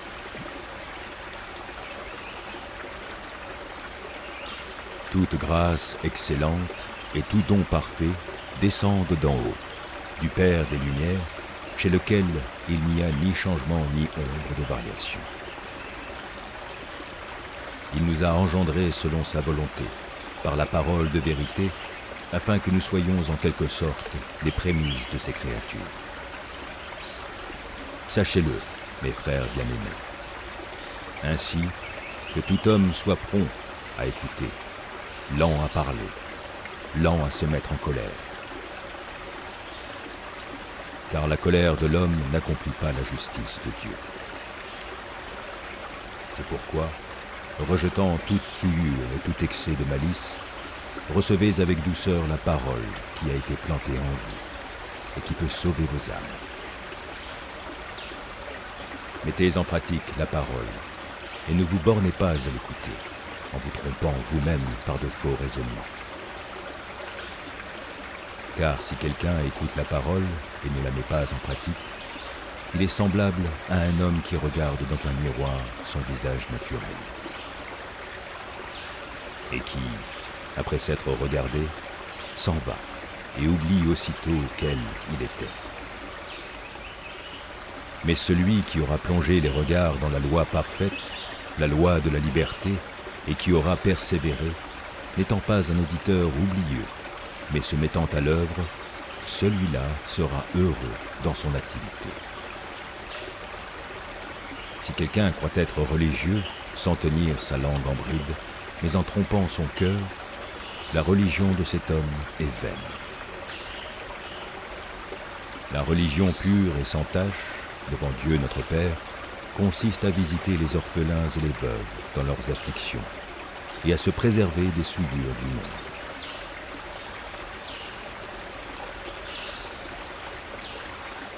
Éternel mon Dieu, je cherche en toi mon refuge. Sauve-moi de tous mes persécuteurs et délivre-moi.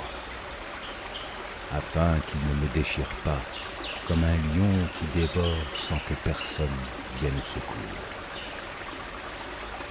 Éternel mon Dieu, si j'ai fait cela, s'il y a de l'iniquité dans mes mains, si j'ai rendu le mal à celui qui était paisible envers moi, si j'ai dépouillé celui qui m'opprimait sans cause, que l'ennemi me poursuive et m'atteigne, qu'il foule la terre ma vie et qu'il couche ma gloire dans la poussière. Lève-toi, ô Éternel, dans ta colère, lève-toi contre la fureur de mes adversaires. Réveille-toi pour me secourir. Ordonne un jugement. Que l'assemblée des peuples t'environne. Monte au-dessus d'elle vers les lieux élevés. L'Éternel juge les peuples. Rends-moi justice, ô Éternel, selon mon droit et selon mon innocence. Mets un terme à la malice des méchants et affermis le juste, toi qui sondes les cœurs et les reins, Dieu juste. Mon bouclier est en Dieu, qui sauve ceux dont le cœur est droit. Dieu est un juste juge. Dieu s'irrite en tout temps. Si le méchant ne se convertit pas, il aiguise son glaive, il bande son arc et il vise.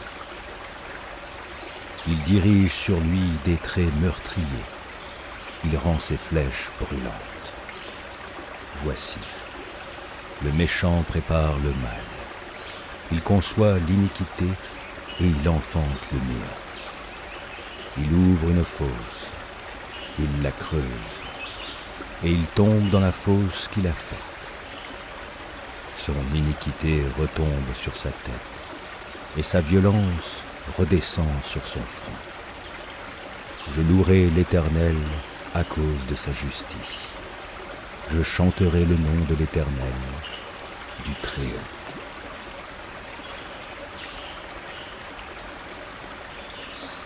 Mon fils, n'oublie pas mes enseignements et que ton cœur garde mes préceptes, car ils prolongeront les jours et les années de ta vie, et ils augmenteront ta paix.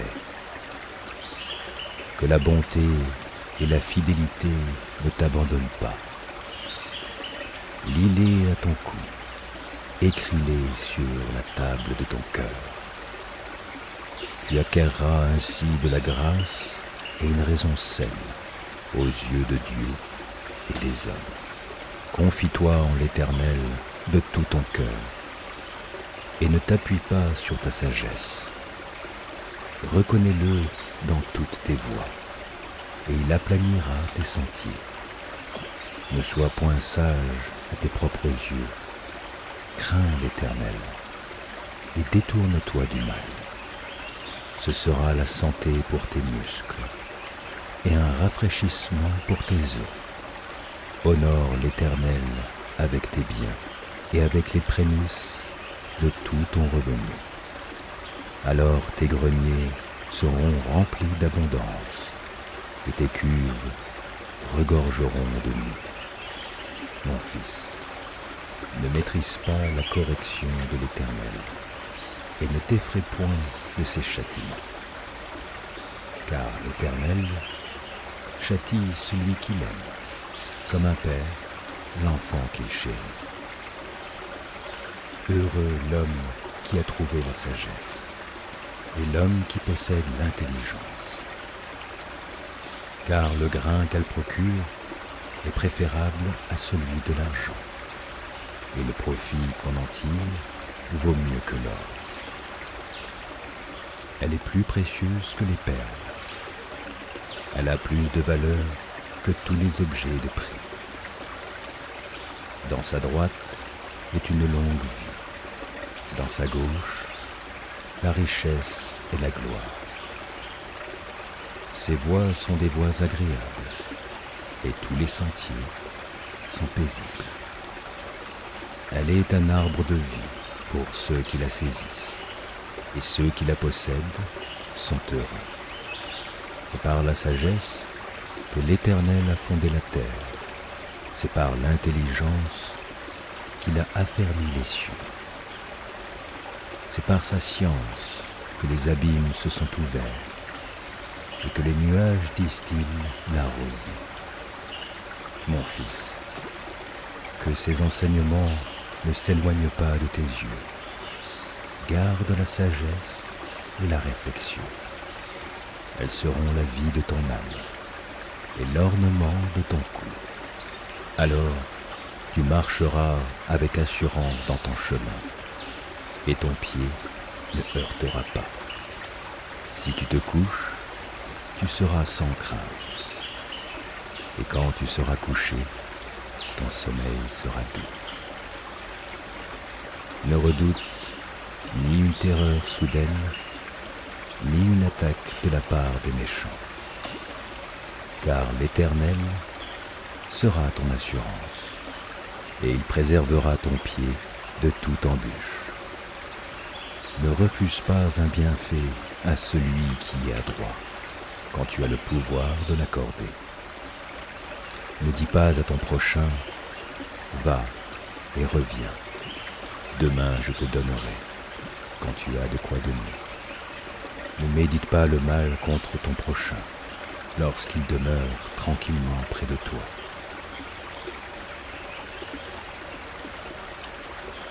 Ne conteste pas sans motif avec quelqu'un lorsqu'il ne t'a point fait de mal.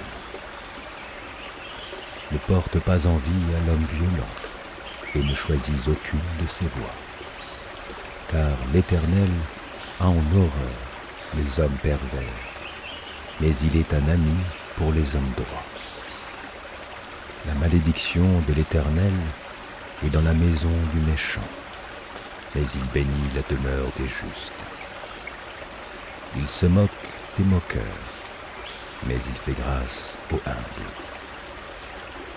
Les sages hériteront la gloire, mais les insensés ont la honte en partage.